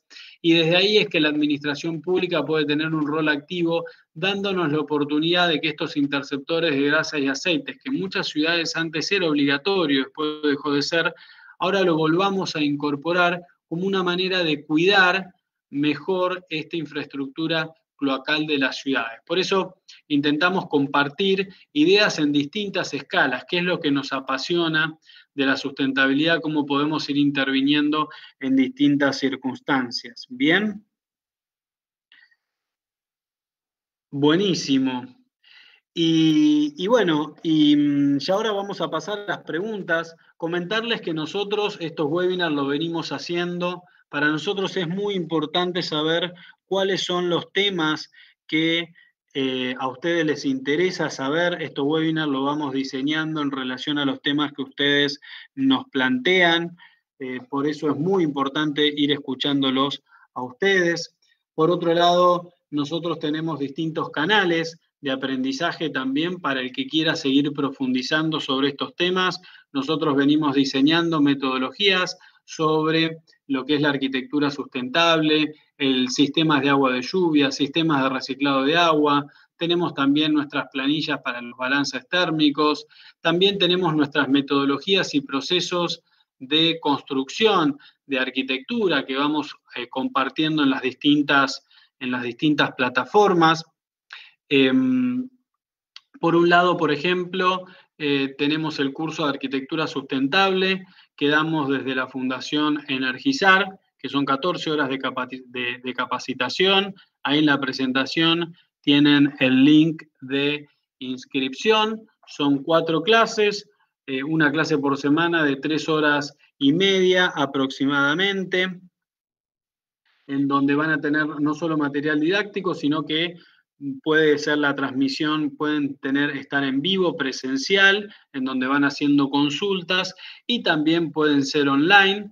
Y estos son los temas que vemos en este curso, el tema de la arquitectura bioambiental, también el aprovechamiento solar y desde las energías renovables, sistemas de certificación de edificios verdes, mencionamos algo del LEED, que hoy mencionamos algo, en el curso también profundizamos sobre algunas estrategias, por otro lado, tenemos un capítulo de uso sustentable del agua, el usar agua de lluvia, algunas cuestiones de biomasa, mencionamos algo también anteriormente de las estufas rusas, el tema del urbanismo, que es un concepto muy interesante, ver cómo el tema de la sustentabilidad es multinivel, como se dice. Uno puede pensar la sustentabilidad en objetos puntuales, pero también los mismos conceptos los replicamos a escala urbana. Eso es algo que personalmente me apasiona. Y como la verdad es una que se va canalizando por distintos caminos, así como decíamos, la parte más natural o la parte más tecnológica, todos al final van hacia los mismos principios. Em, por otro lado, también el tema de techos sustentables que alguien mencionó, el tema de la materialidad, la construcción con tierra y algunos ejemplos de aplicación. El curso de Energizar empieza el 2 de julio, el próximo. Obviamente hay distintos, cada dos meses tenemos un curso. Empieza el 2 de julio, el costo es de 5.400 pesos y como decía, ahí está el link de inscripción para el que se quiera sumar. Em, después, por otro lado, también desde Habitar Sustentable tenemos el curso de estrategias bioclimáticas, que también ahí tienen el link para inscribirse. Este curso es un curso de mayor profundidad en donde la, tiene también como complemento el tema de poder ver videos sobre lo que son las construcciones como un paso siguiente de formación, en donde uno ya tiene una base y a partir de ahí puede ir viendo cómo se van materializando estas ideas a partir del seguimiento en las, en las mismas obras. Así que también es un curso muy interesante en donde se pueden ver construcciones en distintos lugares del país, estos mismos conceptos, sistemas solares pasivos, sistemas de agua de lluvia, por ejemplo, la casa de abajo de la izquierda es una construcción que toda funciona con agua de lluvia y toda funciona con energía renovable. De hecho, ahí se enumeran algunas de las estrategias. Tiene termotanque solar, tiene muro TROM, tiene el tema de la ventilación selectiva, el estudio de las pérgolas, recolección de agua de lluvia, el tema de la orientación de las ventanas y las ventanas eh, cruzadas también. Así que eh, ahí en el medio está el link para inscribirse y también la página y el mail por cualquier consulta. También desde Habitar Sustentable tenemos otro curso que se llama Uso Sustentable del Agua, también para profundizar en lo que son metodologías de cálculo, puntualmente en lo que es sistemas de recolección de agua de lluvia, reciclado de agua, también vemos con profundidad estas reglamentaciones que estamos incorporando en distintos lugares o asesorando a distintos municipios como una forma de ver siempre desde lo puntual hasta lo más holístico. También algunos artefactos que hemos diseñado vinculando, vinculado a lo que es el uso eficiente del agua. Así que tienen distintas alternativas como para poder ir aprendiendo. En estos cursos de habitar sustentable van a tener una visión integral, también van a tener como la misma teoría aplicada a la construcción, van a tener el, aprendizaje ordenado por capítulos y también con preguntas después de cada uno de los capítulos, un seguimiento virtual y por supuesto en ambos, eh, en todos los cursos van a tener un certificado eh, eh, oficial. Y algunas conclusiones como para como para volver al tema de, las preguntas que ustedes tienen. Em, simplemente el valor que es promover la innovación, ya sea en la morfología como en las tecnologías, algo muy importante. Por otro lado, el tema de entender una sabia administración de los recursos puede generar productividad, como veíamos el tema de métodos eficientes para regar, métodos eficientes para construir. El tema de la productividad y generar mano de obra es algo muy importante para la sustentabilidad. Por otro lado, el tema de trabajar de forma complementaria con gente de distintas industrias y también en relación a la administración pública en esta transformación de algunas leyes que mencionábamos. Y por último, lo más importante, que es el compromiso a este cambio y a las prácticas sustentables repasando nuevamente que estamos en el, en el momento de la humanidad donde se genera la mayor cantidad de cambios en el menor periodo de tiempo y nosotros, nuestra generación, va a ser responsable de cómo tomamos conciencia sobre los recursos finitos y también agradeciendo la cantidad de oportunidades que tenemos de, vivir con menos de lo que en promedio se vive para estar mejor y entender que la finalidad de la sustentabilidad son las mismas personas. Em, así que, mm, que, bueno, voy a empezar a, mm, vamos a empezar a... Mm, eh, ¿Cuánto salen estos últimos dos cursos? El de, de estrategias de diseño eh, de estrategias bioclimáticas sale 3.950 pesos, que ahora, está, ahora tiene un descuento porque está en promoción, y el de uso sustentable del agua está en algo de 1.900 pesos argentinos también em, para que puedan tener acceso. Bien, em, bueno, vamos, voy a repasando algunas preguntas que me fueron haciendo antes. Eh, díganme em, sí, también vamos a enviar información sobre los cursos, así que en eso em, quédense tranquilos. Depende de ustedes qué es lo que quieren, también por eso les brindamos distintas alternativas. A ver, eh, ¿enviarán información? Sí, eso es así. Viviendas económicas sostenibles para la ruralidad, para el próximo webinar, por favor. Qué buen tema, Andrés.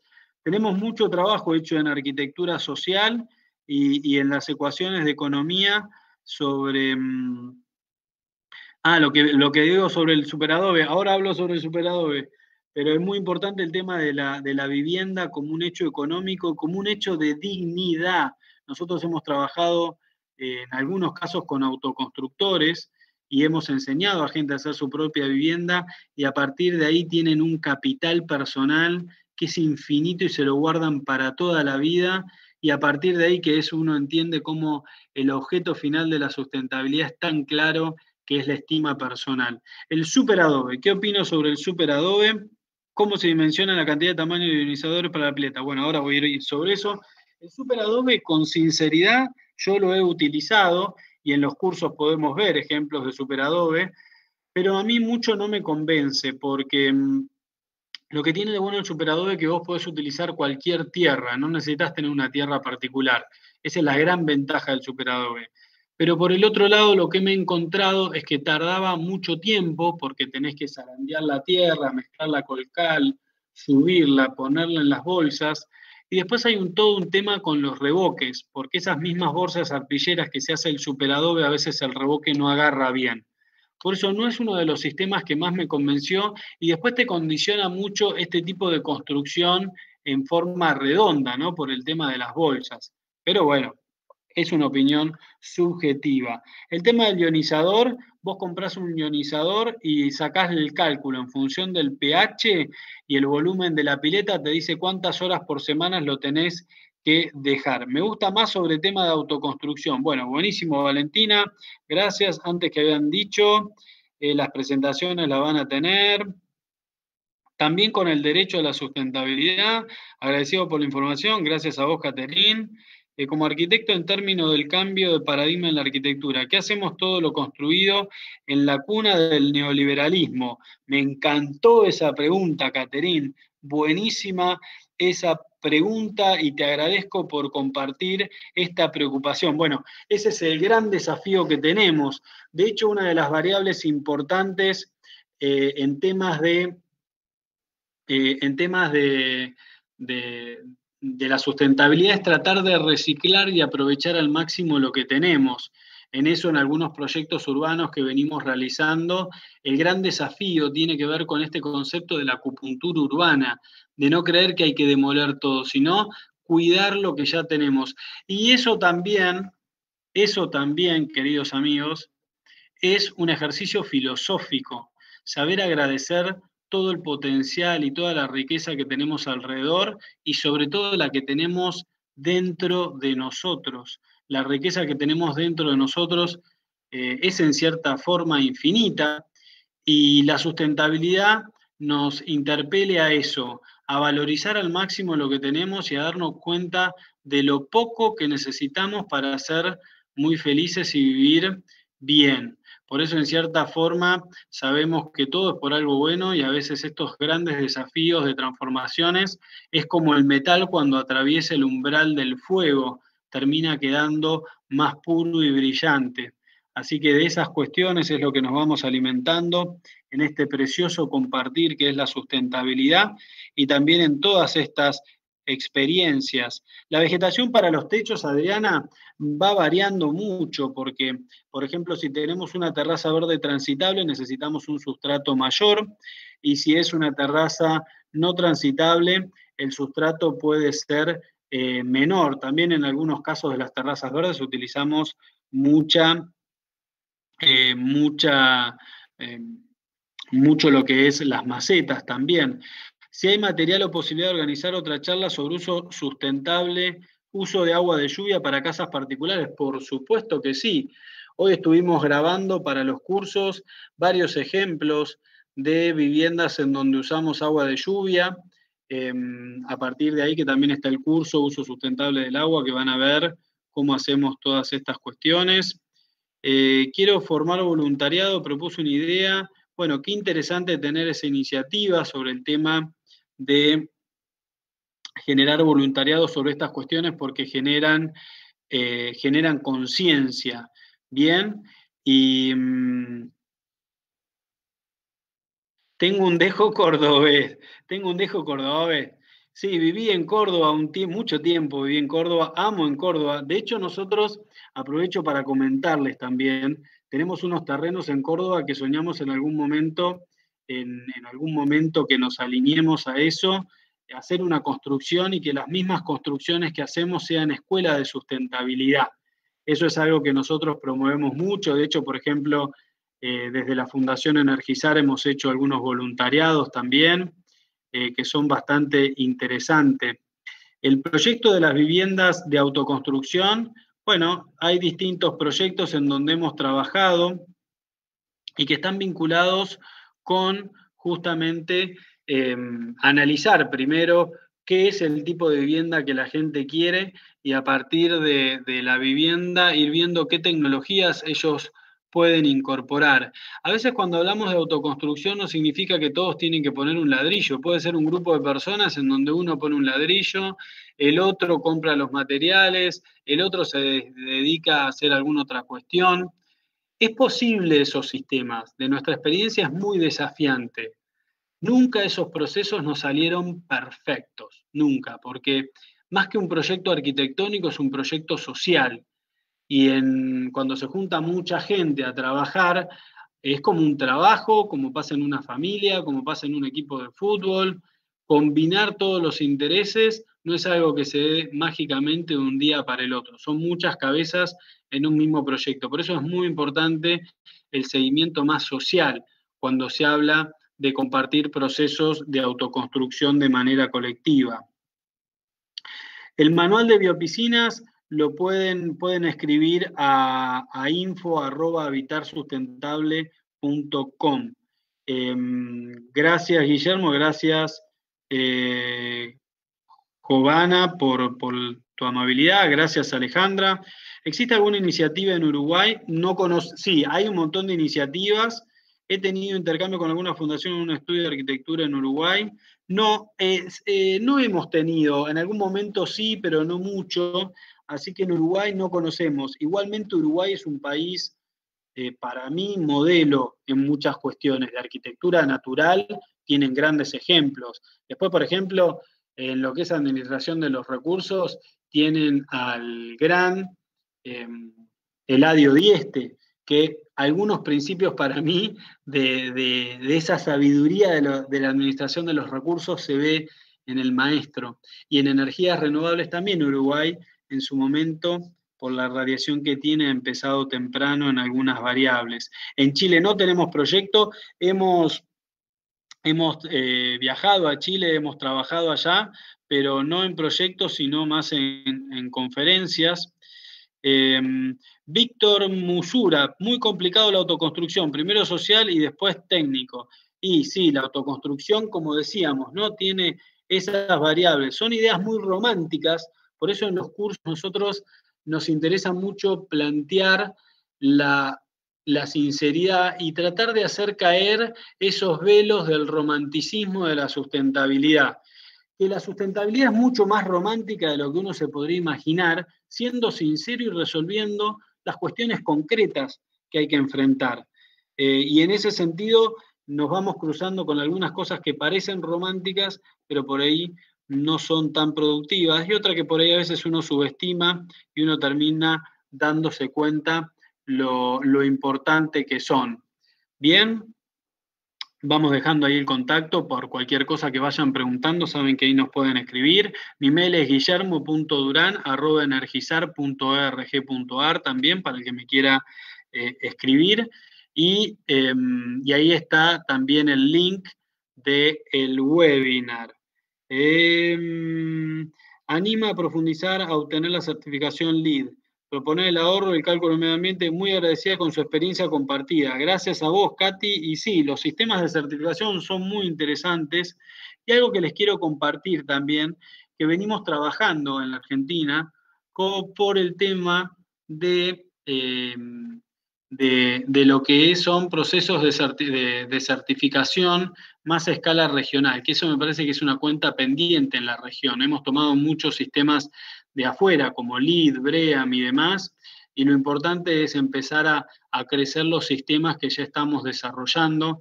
En la Argentina, por ejemplo, del Ministerio del Interior, lo que es el etiquetado de vivienda, la utilización de las normas IRAM, algo muy interesante.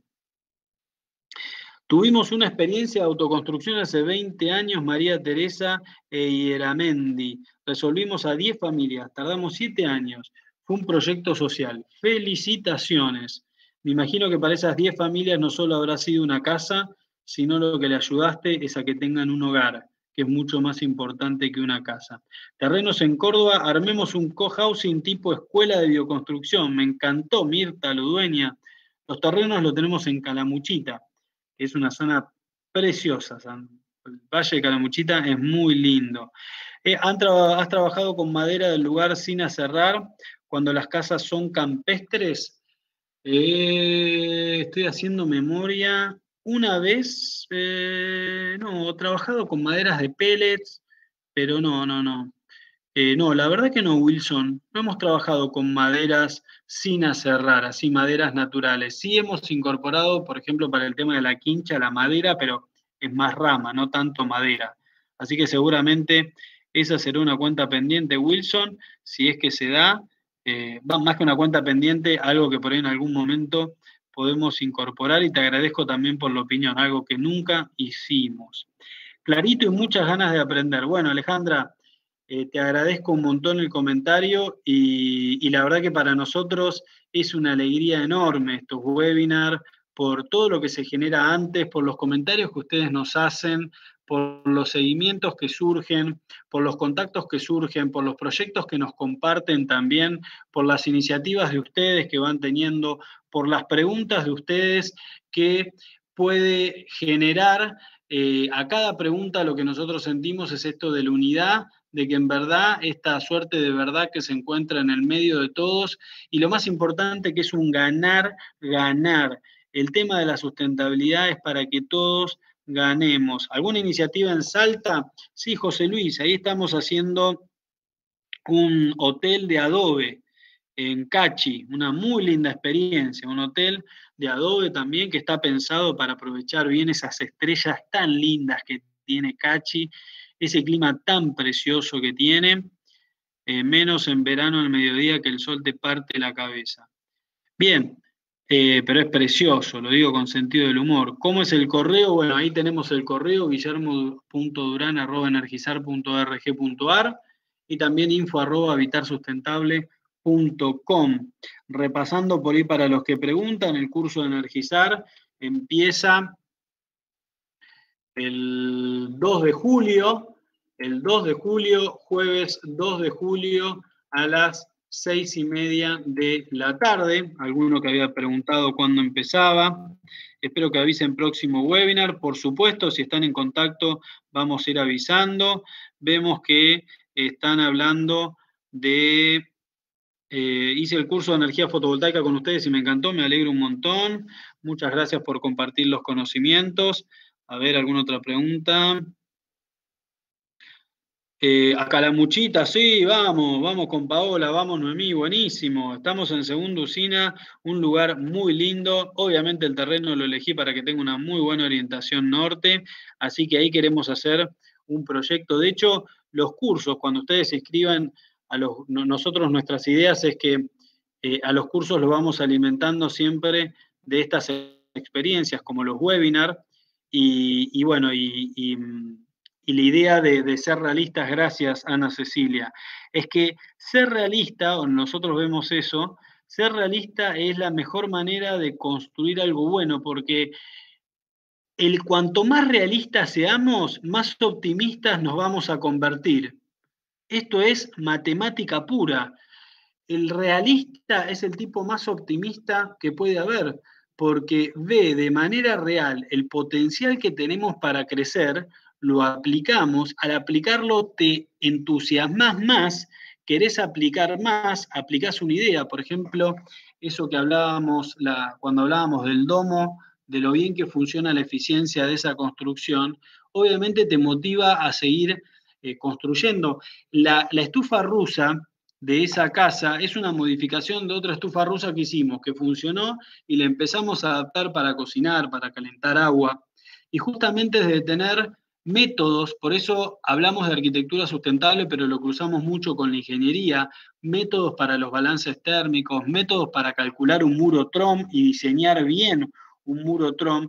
todas esas cuestiones hacen a que funcione y cuando funcione y sobre todo el funcionamiento uno lo ve en el comentario del cliente, que a veces te dice esto no funciona, te dice esto funciona y esa es la última palabra. La última palabra es como la gente comparte con su familia la vivienda, cómo la gente trabaja en su oficina, cómo en un club utilizan un lugar. Por ejemplo, el proyecto que están viendo ahí abajo a la derecha es un restaurante, un club que hicimos toda una terrade y que es un lugar muy liviano como para mantener eh, la estética del lugar. Y otra cosa que también nos parece interesante, que tiene que ver con una empatía más social.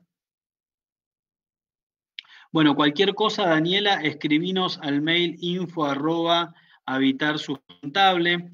Y algo que tiene que ver con ese proyecto es cómo la sustentabilidad se traduce en distintas estéticas, vinculado a una arquitectura, como decíamos, construcción con tierra más muro y vano, y por el otro lado, a la derecha, vemos una construcción más liviana, con vidrio, justamente cuando se utilizan tecnologías más eh, modernas. Gracias, Guillermo, y Habitar Sustentable por la información y todo lo compartido hoy. Gracias a vos, Carlos, por el comentario. Em, bien, bueno, ahí la bibliografía, acércate, Leonardo, y, ahí tenemos eh, distintos canales como para compartir vos información, que los fuimos comentando. Eh, cámaras bufas para reventilar los cimientos. Uy, Bernardo, no sé qué son las cámaras bufas. Ya me voy, después de acá me voy a poner a averiguar qué son las cámaras bufas.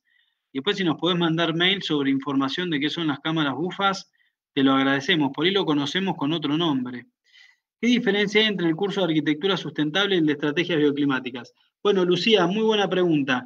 El de arquitectura sustentable es más introductorio, es más teórico, y el de estrategias bioclimáticas pretende ir más a eh, cuestiones más prácticas y tiene más videos de obra y muestra más como la práctica de la obra, tiene ejercicios, es como para una instancia, no sé si superior, pero distinta. El primero es más teórico y el segundo tiene que ver con una cuestión más práctica. Los dos son complementarios, por eso depende qué es lo que está buscando cada uno. Bien. ¿Cuál es el valor estimado del metro cuadrado construido en la vivienda para mostrar que mostraste en la charla? Si bien esto depende del proyecto, obviamente, estimo que se puede sacar un promedio. Qué buena pregunta, Santiago. Muy buena pregunta, que lo que te voy a responder es que esto en los cursos también los vemos. Las viviendas, por ejemplo la de Luján, nosotros hicimos con el cliente un cálculo, después vamos a ir a la vivienda de Luján, vamos a ponerla la presentación. Nosotros en esa vivienda, por ejemplo, hicimos un cálculo con el cliente que la construcción salió un 1,5% más de lo que hubiese salido si no hubiésemos aplicado estas estrategias de, em, de sustentabilidad, un 1,5% más, y ahorraba un 80% un 70% de energía en comparación a una construcción tradicional y un 25% de agua. Te digo estos tres números porque generalmente se repiten con un 2% más de inversión y por eso en los webinars lo venimos explicando, en el primero lo explicamos mucho, con un 2% más, un 1,5%, podés obtener en promedio un 60% de ahorro energético y un 60% de ahorro de agua como para que tengas en cuenta tres valores. Por eso cuando me decís cuál es el valor estimado del metro construido, si, una construcción saldría 90, 900 dólares por el tipo de revestimientos que tiene o lo que fuese, va a salir un 2% más, 920 dólares, eh, ¿cuánto sería el 20% más? 900, eh, sí, 920 dólares el metro cuadrado. Eh, bien, a ver, me agrada, interesante la arquitectura sustentable para dejarme, eh, por dejarme ingresar al webinar. No, Ricardo, al contrario, gracias a vos para participar.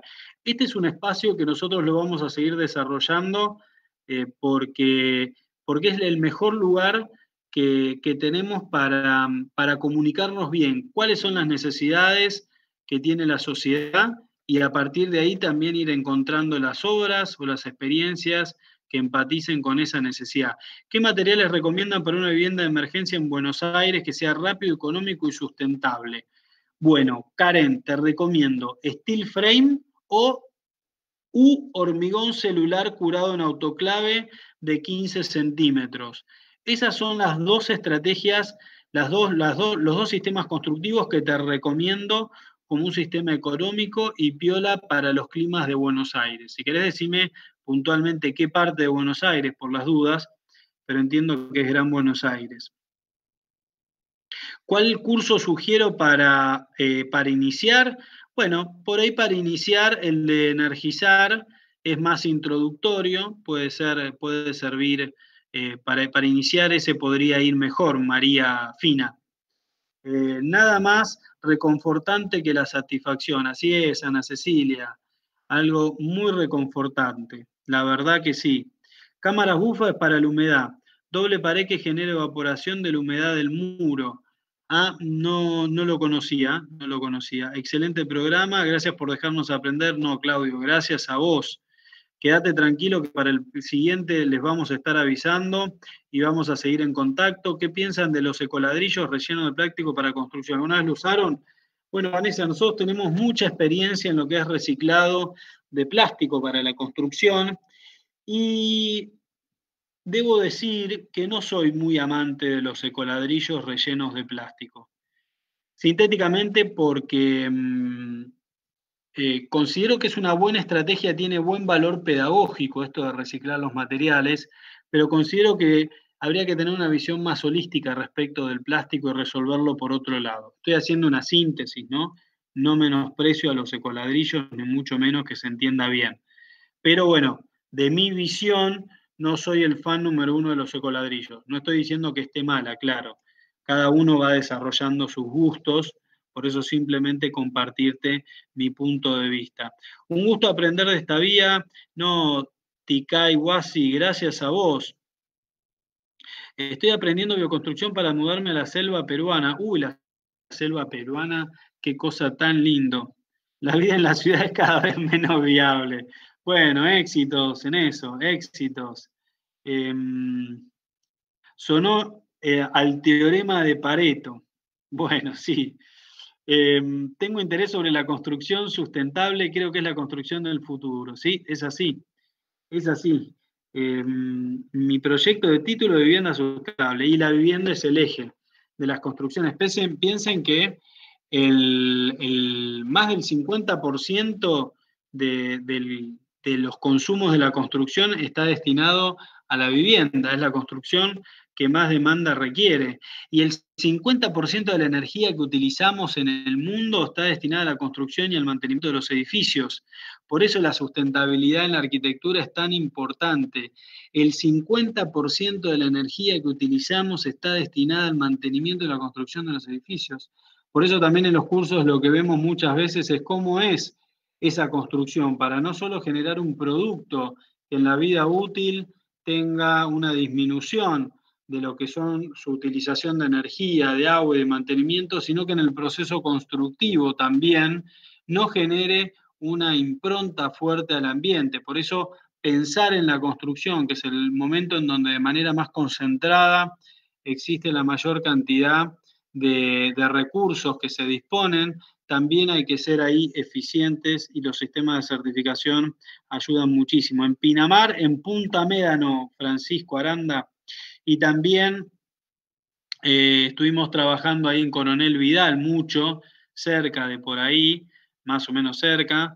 Necochea, ahora estamos en un proyecto de energía fotovoltaica en Necochea. Con un porcentaje menor se incrementan los beneficios de manera importante. Es así, José Ignacio.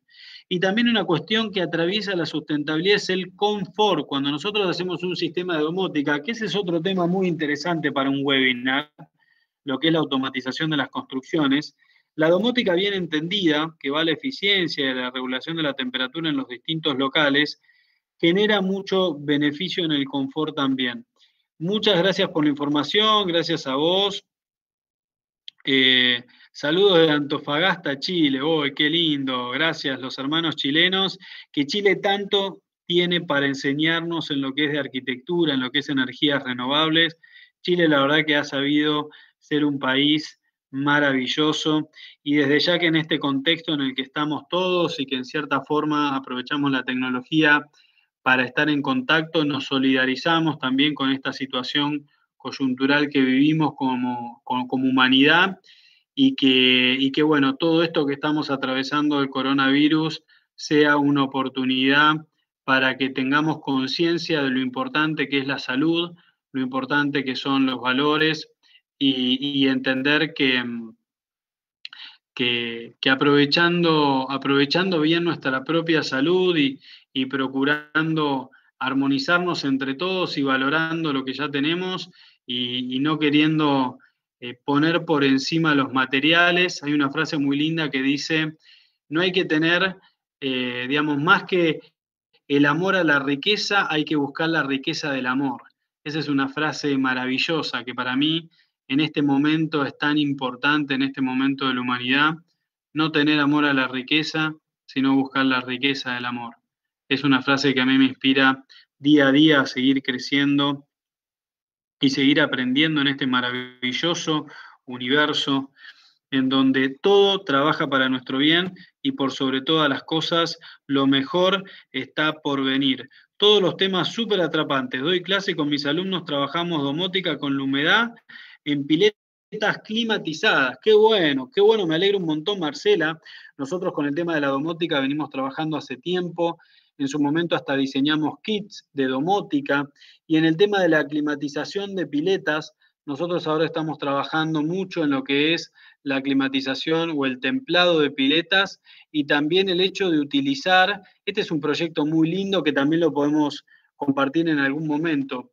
Utilizamos ahora en proyectos la pileta como reservorio de energía solar térmica en invierno. La cerramos, esta idea es maravillosa, esto es lo que tiene de bueno la sustentabilidad. Cerramos las piletas para aprovechar la superficie de arriba y utilizamos como grandes reservorios o boilers para acumular la energía solar térmica para calefaccionar las construcciones. Hay tanto para aprender en todo lo que son estrategias pasivas, al incorporar lo que son los, los principios de la física convencional, es algo tan lindo. Eh, cursos de domótica, como para alguien que no tiene conocimientos. Bueno, A2, BH, en los mismos cursos nosotros hablamos sobre lo que es automatización y damos ejemplos variados. Por situar una situación en un centro logístico muy grande de 40 metros por 50 metros, hacíamos una sectorización de las luces en función también de la luz natural que venía desde afuera y logramos incorporar un sistema que por día, al hacer un diseño inteligente de las instalaciones, ahorraba más de 300 kilowatt hora por día. 300 kilowatt hora por día es el consumo equivalente a 350 heladeras en un día, un montón. Y este sistema se amortizaba en seis meses. Por eso todo lo que es automatización, ya sea de las energías renovables como de la arquitectura, hay un montón de cuestiones para aprovechar y para aprender. La formación, la información de este no lo pueden compartir. Sí, sí, sí, Mauricio, en el mail les va a llegar, ahí como muy bien están diciendo, toda la información para que compartan de este webinar. El curso de arquitectura sustentable es muy bueno y lo recomiendo desde Lima.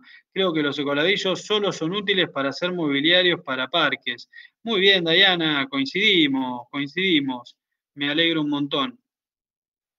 Bien, estamos aprendiendo muchísimo sobre construcción sustentable porque estamos diseñando nuestra casa. Y sí, cuando uno diseña su propia casa aprende un montón, con techo vivo, agua, reciclado de piletas, río de huerta, estufa rusa y refrigeración canadiense. Muy bien, Yeshua. Muy bien, me alegro un montón. Ya te tenés que ir, por supuesto, no hay ningún problema. Bien, a ver, vamos a ver más preguntas. Em, Bien, después habían preguntado por ahí el tema de los domos eh, geodésicos. Em, saludos desde Ovalle, Chile. Construir un domo geodésico con barro y botellas. Eh, ah, empezaste a construir un domo geodésico. Bueno, qué bueno. Me alegro un montón. Ya saben que cualquier información que quieran compartir también, bienvenido sea. Em, em, gracias por, por, bueno, en Corrientes, incluso en Corrientes estuvimos trabajando en la misma Corrientes, en la ciudad de Corrientes, eh, estuvimos dando un taller de arquitectura sustentable. Eh, esto fue, si mal no recuerdo, en octubre. Dimos un taller destinado a arquitectos e ingenieros de todo un día, una jornada de ocho horas, en donde veíamos, por ejemplo, en Corrientes qué importante es el tema de los termotanques solar, en donde no tienen red natural de gas, y se abastecen todo con electricidad, los termotanques son con resistencia eléctrica. Este es un tema muy interesante también. Ustedes saben que generalmente cuando tenemos un termotanque, el 40% de la energía que utiliza el termotanque se, se pierde por mantener el piloto. Y cuando no tenemos red de gas, la electricidad en esos lugares, por ejemplo, demanda mucha energía, calentar agua, por eso hay en corrientes que hay mucho sol. El tema de los termotanques solares es una estrategia de más conveniente y que se puede aplicar con mucha eh, facilidad. Bien, se puede construir, dice saludos. ¿Sabes si existe alguna restricción respecto del piso térmico para la construcción en técnicas con tierra, adobe, bloque o tapia? ¿Se puede construir con tierra en gran altitud a 2.500 metros sobre el nivel del mar? Mira, Joan, eh, sí, yo creo que se puede construir con tierra a 2.500 metros sobre el nivel del mar. La verdad que no encuentro un motivo de por qué no, no habría ningún problema. Y el tema de las restricciones de los pisos térmicos, no, no hay ningún problema, se podrían utilizar tranquilamente. De hecho, todo lo que es técnica con adobe, bloque y tapia, entiendo que bloque no al bloque de hormigón hueco, sino al bloque de construcción con tierra, eh, tienen esta capacidad de térmica de la inercia, de aprovechar muy bien la energía que se va generando con la calefacción. Eso es algo bastante bueno y bastante interesante. También nosotros, por ejemplo, en algún momento alguien hablaba de la paja. Nosotros en algunas técnicas, que pueden ver un video en los, canal, en los canales de YouTube que mencioné, el de Habitar Sustentable, em, ahí pueden entrar. Se, se pueden suscribir si quieren para que les sigan llegando videos cada vez que vamos subiendo un video. Ahí hay un video interesante en donde utilizábamos cáñamo en vez de eh, paja para hacer los adobes. Justamente el cáñamo, que es un derivado de la caña, que es, también le dicen pelo de vieja, que antes hace mucho tiempo lo utilizábamos para las instalaciones sanitarias, para las roscas. Ese mismo material, a la hora de, de, de utilizarlo para, para lo que es la combinación en la construcción con tierra, es un producto bastante eh, interesante. ¿Bien? Trabajaste con muro de adobe encofrado, ¿qué opinás? Mira, trabajé una sola vez con el encofrado y me pareció un sistema muy interesante, muy interesante. Para mí se justifica en climas secos, porque cuando yo por lo menos trabajé, em, entiendo que muro de adobe encofrado te referís al muro encofrado. Eh, cuando yo trabajé con muro encofrado, por un tema de cómo fragua o fragua ese muro, al estar encofrado, la mezcla de la tierra no tiene que ser muy húmeda, tiene que ser un poco más cerca que el promedio de la tierra. ¿Bien?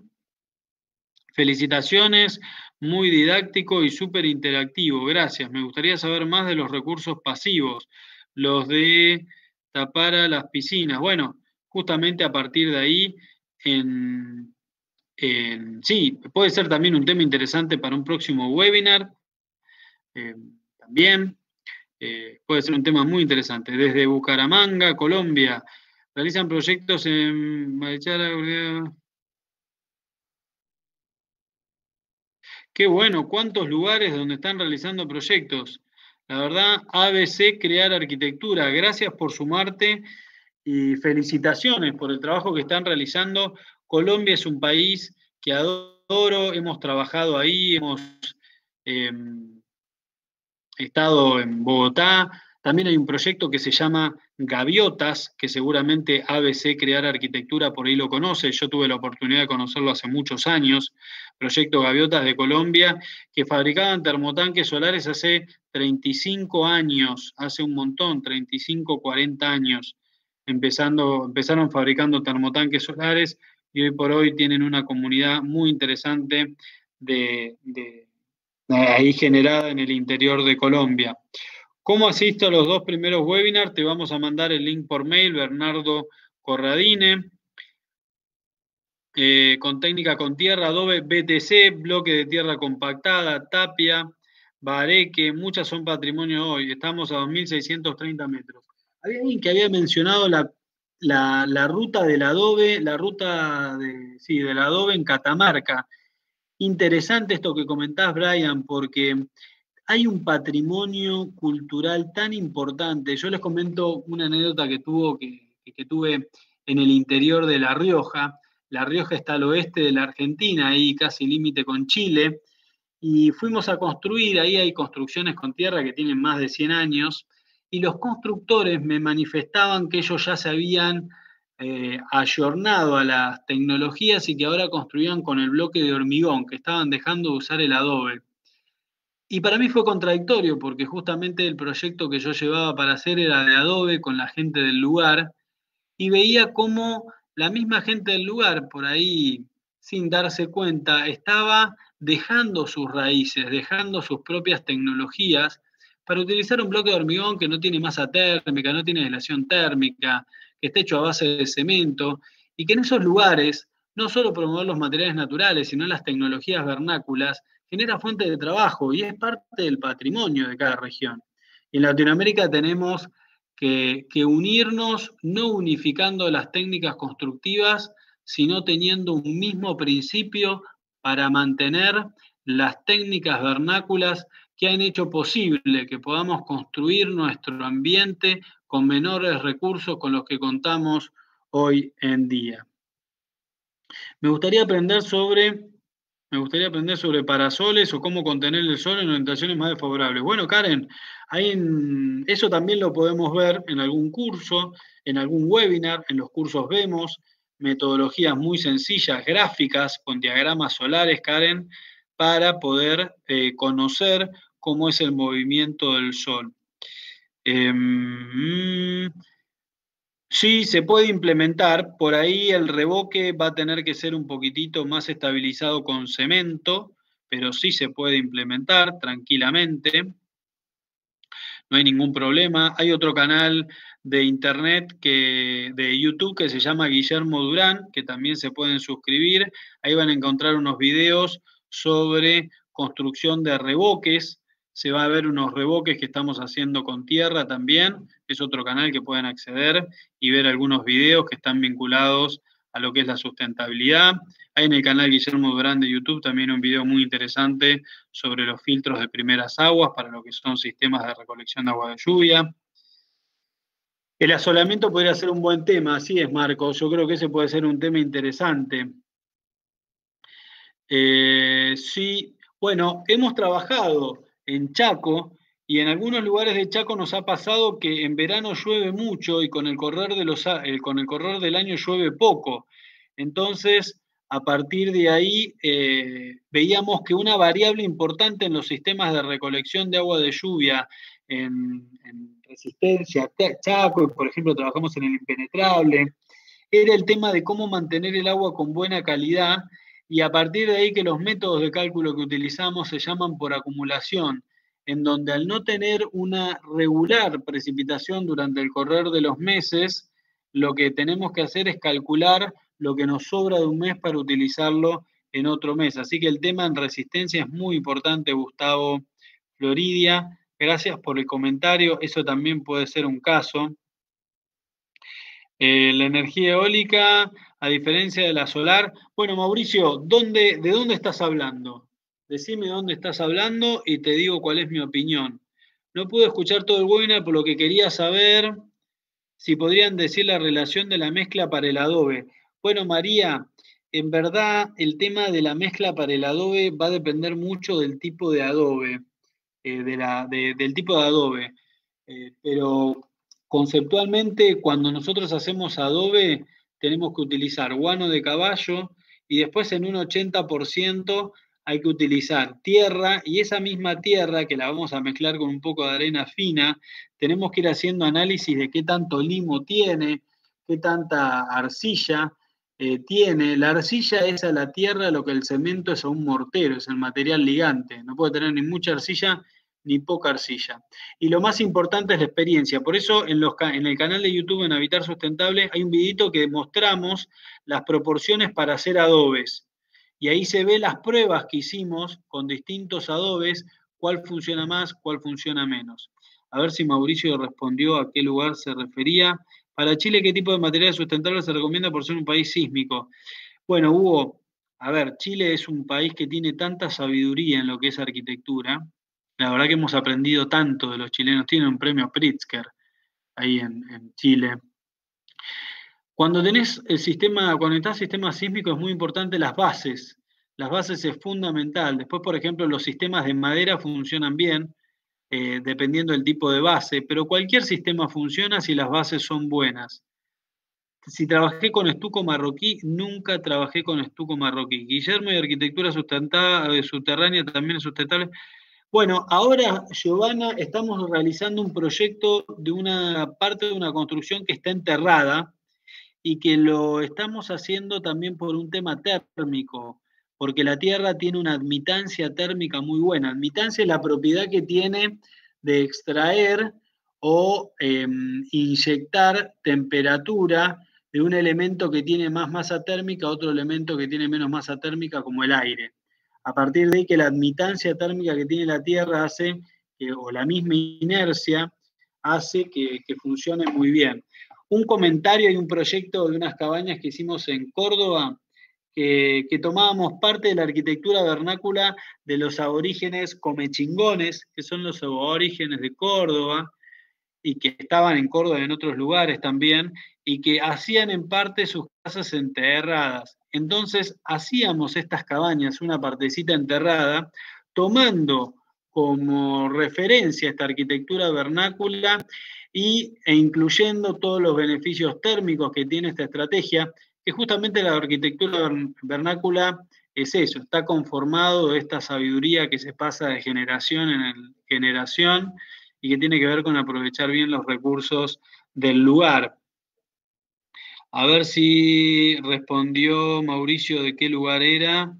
A ver, Mauricio, Colombia. Ay, Mauricio, no te puedo decir. Disculpame porque Colombia varía tanto de climas que no conozco particularmente. Tendría que estudiar los datos climáticos como para poder responderte. Colectivo Patrimonio, buenas noches. Eh, desde Santiago de Cali, Colombia, me gustaría si me pueden compartir los webinars anteriores. Sí, así es. Les vamos a mandar un link con los webinars anteriores, no hay ningún problema. Eh, muchas gracias. Que han construido domos en zonas con actividad sísmica. ¿Para qué intensidad están diseñadas? De Chile, saludos. Uy, perdón si, eh, Guillermo, si en algún momento dije eso, nosotros nunca construimos domos en lugares donde hay actividad sísmica. En Córdoba hay algunos pequeños temblores, que por cierto, cuando hay temblores, algunos de ustedes eh, sabrán a lo que me refiero. En lugares tan naturales, cuando hay temblores, lo primero que se escucha con mucha bravuría son los animales. Cuando uno escucha que los animales empiezan a mover, hay que esperar 8 segundos que se viene el temblor o 10 segundos o, lo que fuese. Y bueno, en Córdoba eh, esta casa ha sufrido temblores, pero nunca le pasó nada justamente por esta combinación que decimos de las buenas bases con las buenas columnas de hormigón. Eh, el Good Frame de madera, me parece muy bueno el mío, el Good Frame. Me parece un sistema muy bueno, lo utilizamos también en algunas construcciones. En un webinar compartimos ese sistema constructivo. Ahora estamos haciendo una casa en Chile de Good Frame en donde mm, para ciertos climas y en algunos contextos nos parece un sistema muy interesante. Wood frame con poliuretano expandido del lado de adentro, también de distintas densidades. ¿Qué técnica recomienda para preparar ladrillos de arcilla? Bueno, va a depender un poco la dosificación, pero los BTC, los bloques de tierra compactada, para cierta escala de construcción para mí viene bien. A veces lo que tiene el BTC es que Em, el tema de la máquina y la escala y la productividad a veces no es muy ágil para hacer muchos bloques, pero el BTC para bloques de arcilla para mí es una de las mejores técnicas para utilizar. No, eh, Giovanna, gracias a vos. Eh, ¿Qué tanto conoces la autoconstrucción de aquí? Bueno, no conozco mucho de Perú, pero sabemos, eh, sabemos que Perú desde sus culturas más primitivas, bueno, tenemos Machu Picchu, tenemos tantos lugares en donde hemos aprendido que incluso hoy por hoy no se sabe bien cómo se hicieron esas construcciones y hay distintas teorías de cómo podían hacer para que las piezas, las piedras encajen tan bien unas de otras. Nuevamente volvemos a que la sustentabilidad es sentido común, volvemos a que la sustentabilidad es tratar de aprovechar los recursos que tenemos. En algún momento hablaban también de lo que eran los muros Trump, y algo muy importante para nosotros respecto de, los muros Trump es el tema de las orientaciones, que hablaban cómo dimensionar los muros Trump. Las orientaciones son fundamental y, em, y es algo que nosotros eh, siempre vamos midiendo también, consultándole a, a, los clientes cómo lo van utilizando. Bien. Así que bueno, bueno gente, nos vamos despidiendo. Gracias a todos. Gracias eh, por los comentarios, por las preguntas. ¿Qué técnicas recomienda para personas de alta humedad y lluvia? ¿Y qué podría compartir? Sí, ahí les vamos a compartir también em, los links. Y bueno, lo importante para climas de muchas lluvias, técnicas naturales, el tema de los revoques que en la bibliografía que habíamos compartido también había muy buena información sobre eso. Así que acuérdense para inscribirse, eh, inscribirse en el webinar para que le lleguen toda la información. Una vez más, muchas gracias. Un placer poder compartir estos principios y sentir que unidos siempre somos más. Siempre somos más. No, gracias a vos, Franci, gracias a vos. Un placer, un placer. Conocimiento lo vamos compartiendo entre todos, nos envuelve y así seguimos creciendo. Te mando un gran codazo, ¡eh! Codazo. Víctor, ¿cómo estás, Víctor? ¿Cómo anda Pilar por allá? ¿Todo bien? Un saludo a Pilar, Víctor. Un codazo grande y gracias por sumarte. Gracias, Joan. Gracias eh, Natalia por sumarse, gracias María, gracias a todos.